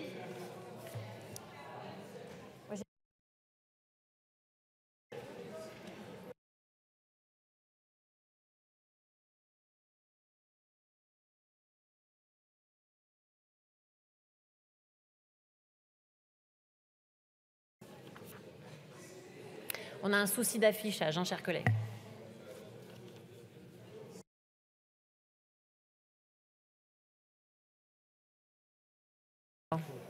Alors, chers collègues, il ne faut pas tenir compte de l'afficheur, il faut le tenir compte du déroulé de la séance et j'en arrive donc au 338. Il a dû être mal positionné avec le dérouleur. Donc, nous en sommes au 338. Donc, Madame la Présidente Panot. Merci, euh, Madame la Présidente. Donc, c'est euh, un amendement qui vise à ajouter les conditions de travail des salariés, y compris ceux des entreprises sous-traitantes. Et je voudrais redire euh, à Madame Perrine Goulet, qui tout à l'heure s'exprimait sur cette question, que oui, dans les commissions d'enquête euh, sur la question de la sûreté et de la sécurité euh, nucléaire, vous avez raison, ce n'était pas à l'unanimité, mais dans les recommandations qui ont été votées et adoptées à la majorité des membres qui étaient présents, il y avait plusieurs recommandations sur la question de la sous-traitance, dont Madame Barbara Pompili, qui est ici et qui était la rapporteure, disait que c'était un des enjeux majeurs du nucléaire présent et à venir. Donc, je pense qu'il est très important de demander au gouvernement que cette question sur la question des salariés et des salariés sous-traitants particulièrement soit mise euh, dans le rapport qui est présenté par le gouvernement. Pourquoi? Je rappelle 80% de la maintenance nucléaire est faite aujourd'hui par des sous-traitants nucléaires. 80% de la dose radioactive est reçue par les salariés sous-traitants nucléaires, avec des questions sur la sûreté et la sécurité importants, et notamment, peut-être vous en rappelez-vous, mais le rapport du CHSCT sur la chute euh, du générateur de vapeur à, à Paluel, en 2016, eh bien justement, ce qui était mis en cause, c'était la cascade de sous-traitance qui avait mené à un accident qui aurait pu être un accident très grave. Donc la question, moi je suis contente d'entendre, Madame la rapporteure, que vous voulez réinternaliser. Malheureusement, ce n'est pas ce qui s'est fait euh, dans les années euh, euh, précédentes et je crains que ce ne soit pas ce qui se passe dans les années à venir puisque nous sommes plutôt sur un recours massif à la sous-traitance. Et moi, je vous alerte, collègues, quelle que soit notre position les uns et les autres sur le nucléaire, nous avons toutes et tous intérêt à ce que les conditions de travail dans le nucléaire soient les meilleures possibles pour assurer la sûreté et la sécurité, d'abord et avant tout des salariés, mais aussi de toutes celles et ceux qui vivent autour euh, des centrales nucléaires. Donc vraiment, je vous alerte sur cette question. Et si vous êtes sérieux dans ce que vous êtes en train de faire, adoptez cet amendement à minimum. Je vous remercie. Donc, euh, la- l'avis de Madame le- la rapporteure, donc défavorable. Madame la ministre Défavorable également. Oui, je, je vous remercie. Madame la présidente Panot, vous avez la parole. Merci, euh, Madame la Présidente. Honnêtement, sur cette question-là, j'aimerais quand même avoir euh, un, minimum d'argumentaire euh, et de Madame la rapporteure et de Madame la ministre. Tout à l'heure a été dit qu'on faisait appel à des salariés sous-traitants du nucléaire, notamment parce qu'on faisait appel à des compétences particulières. Ce n'est pas vrai et vous le savez. De plus en plus, nous sommes en train de sous-traiter dans le nucléaire. Et je vais vous donner pour exemple la grève euh, des sous-traitants euh, du nucléaire qui sont euh, à Romans-sur-Isère que j'avais été soutenir. À Romans-sur-Isère, vous le savez, ils font de l'assemblage de combustible. Vous avez des gens qui ont le statut, qui font exactement le même métier que ceux qui n'ont pas le statut et à qui petit à petit on a diminué. Au départ, ils étaient six, ils ont fini par être quatre à faire des heures supplémentaires. Et donc, en faisant ces heures supplémentaires, ils mettaient en danger, avec y compris des erreurs qui étaient faites sur la vérification de colis. Donc, vraiment avec des choses qui peuvent être très graves.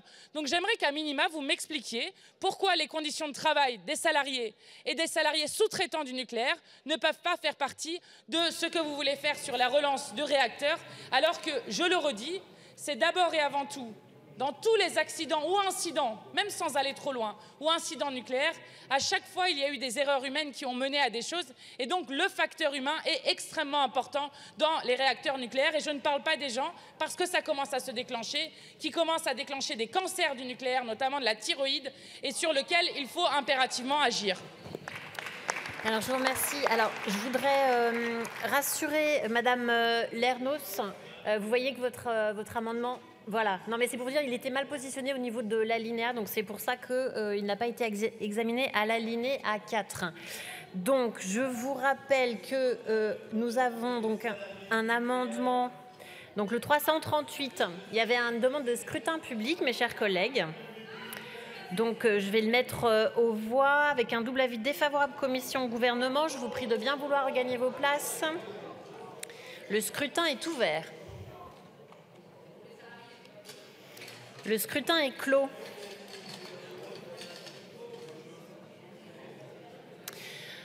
Alors, votant 120, exprimé 119, majorité 60 pour, 53 contre, 66, l'Assemblée nationale n'a pas adopté. Nous en arrivons à l'amendement 411. Monsieur Caron, vous avez la parole. Merci Madame la Présidente, Madame la Ministre, Madame la Rapporteure, chers collègues. Par cet amendement, nous voulons nous préciser le paramètre du rapport pour que celui-ci tienne compte de l'augmentation des risques nucléaires, et ce, dans un contexte où le risque statistique est actuellement sous-évalué, comme euh, l'explique le physicien nucléaire Bernard Laponche ou encore l'ancien président de l'IRSN, Jacques Repussard. Il dit ceci, les études probabilistiques ne savent pas bien prendre en compte l'aléa naturel et le facteur humain qui comprend le risque terroriste ou encore le risque lié à la guerre. Le danger lié à l'atome, c'est précisément ce que vous évacuez dans ce grand plan de relance du nucléaire. Madame la rapporteure, vous êtes sur votre téléphone, mais je vous parle. C'est précisément ce, c'est c'est pré- précisément ce dont vous parlez dans le Figaro. Vous dites, vous dites, vous dites, chez certains députés, c'était dans le Figaro d'hier soir, chez certains députés, les croyances sur le nucléaire ont pris le pas sur la science. Je pense que vous parliez notamment de moi. Mais Madame la rapporteure, contrairement à ce que vous affirmez, les opposants au nucléaire ne sont pas dans la croyance, ils sont dans les faits, c'est vous qui êtes dans la croyance. Vous êtes aveuglés par quelque chose qu'on pourrait appeler la religion, la religion de la science et de la technique. Religion que notre maîtrise de cette science nous sauvera toujours de tout, même des problèmes que nous engendrons nous-mêmes via cette technique et via cette science. Or, avec euh, l'énergie atomique, on manipule des techniques et des machines dont les effets nous échappent. C'est ce que le philosophe Günther Anders appelle le décalage prométhéen. Parce que la manipulation de l'atome, ça donne Fukushima, Tchernobyl, mais ça donne aussi Hiroshima et Nagasaki. Est-ce que quelqu'un ici osera affirmer que le nucléaire civil et le nucléaire militaire sont déconnectés? Non, les deux sujets sont intimement liés, vous le savez. Et c'est pour ça qu'en ce moment, il y a une inquiétude dans les démocraties du monde en ce qui concerne par exemple le nucléaire civil iranien. Je vous remercie. Alors, nous en arrivons, Madame la rapporteure. défavorable. Madame la ministre Non, je, vais me permettre de rappeler très vite. La question de la sûreté nucléaire, elle ne dépend pas d'un rapport. Elle dépend d'un cadre qui est très bien défini et que ce projet de loi ne modifie en rien. Au niveau du programme prévu par EDF, je rappelle que l'autorité de sûreté nucléaire s'est prononcée publiquement le 16 juillet 2019 sur les options de sûreté des réacteurs EPR2. Je me permets de vous renvoyer vers ce rapport. Enfin, réacteur par réacteur, ces sujets sont analysés de manière très approfondie au moment de l'instruction de l'autorisation de création. Donc vous voyez, c'est non seulement satisfait, mais je vous invite vraiment à ne pas envoyer le discrédit sur l'ensemble de la filière. Et je me permets de redire qu'ici, cette majorité, elle n'est pas contre les énergies renouvelables ni contre le nucléaire, elle est pour tout ce qui va nous permettre de respecter nos objectifs de lutte contre le réchauffement climatique, que c'est ça notre boussole et qu'il me semble important de ne pas se tromper de boussole et de ne pas tout mélanger comme vous le faites maintenant et au risque, au risque de faire qu'on n'atteigne pas nos objectifs de neutralité carbone en 2050. C'est ça la réalité et c'est ça votre position. Et ce qui vous embête, c'est que vous avez voté contre, contre la loi sur les énergies renouvelables. Alors, je vous remercie. Alors, Monsieur Caron, je vous, je vous, donne la parole. Je donne la parole à Monsieur Caron uniquement. Et je vous rappelle que tous les gestes sont interdits au sein de cette Assemblée, notamment de montrer euh, du doigt les, les collègues. Je vous donne la parole. Merci, Madame la Présidente. Il y a une sacrée hypocrisie quand même d'essayer de nous faire croire que ce projet de loi est pour, est pour nous aider à, atteindre nos, objectifs sur, sur les émissions carbone, alors que sur les énergies renouvelables, la France est le seul pays européen à ne pas justement remplir ses objectifs. C'est quand même assez honteux.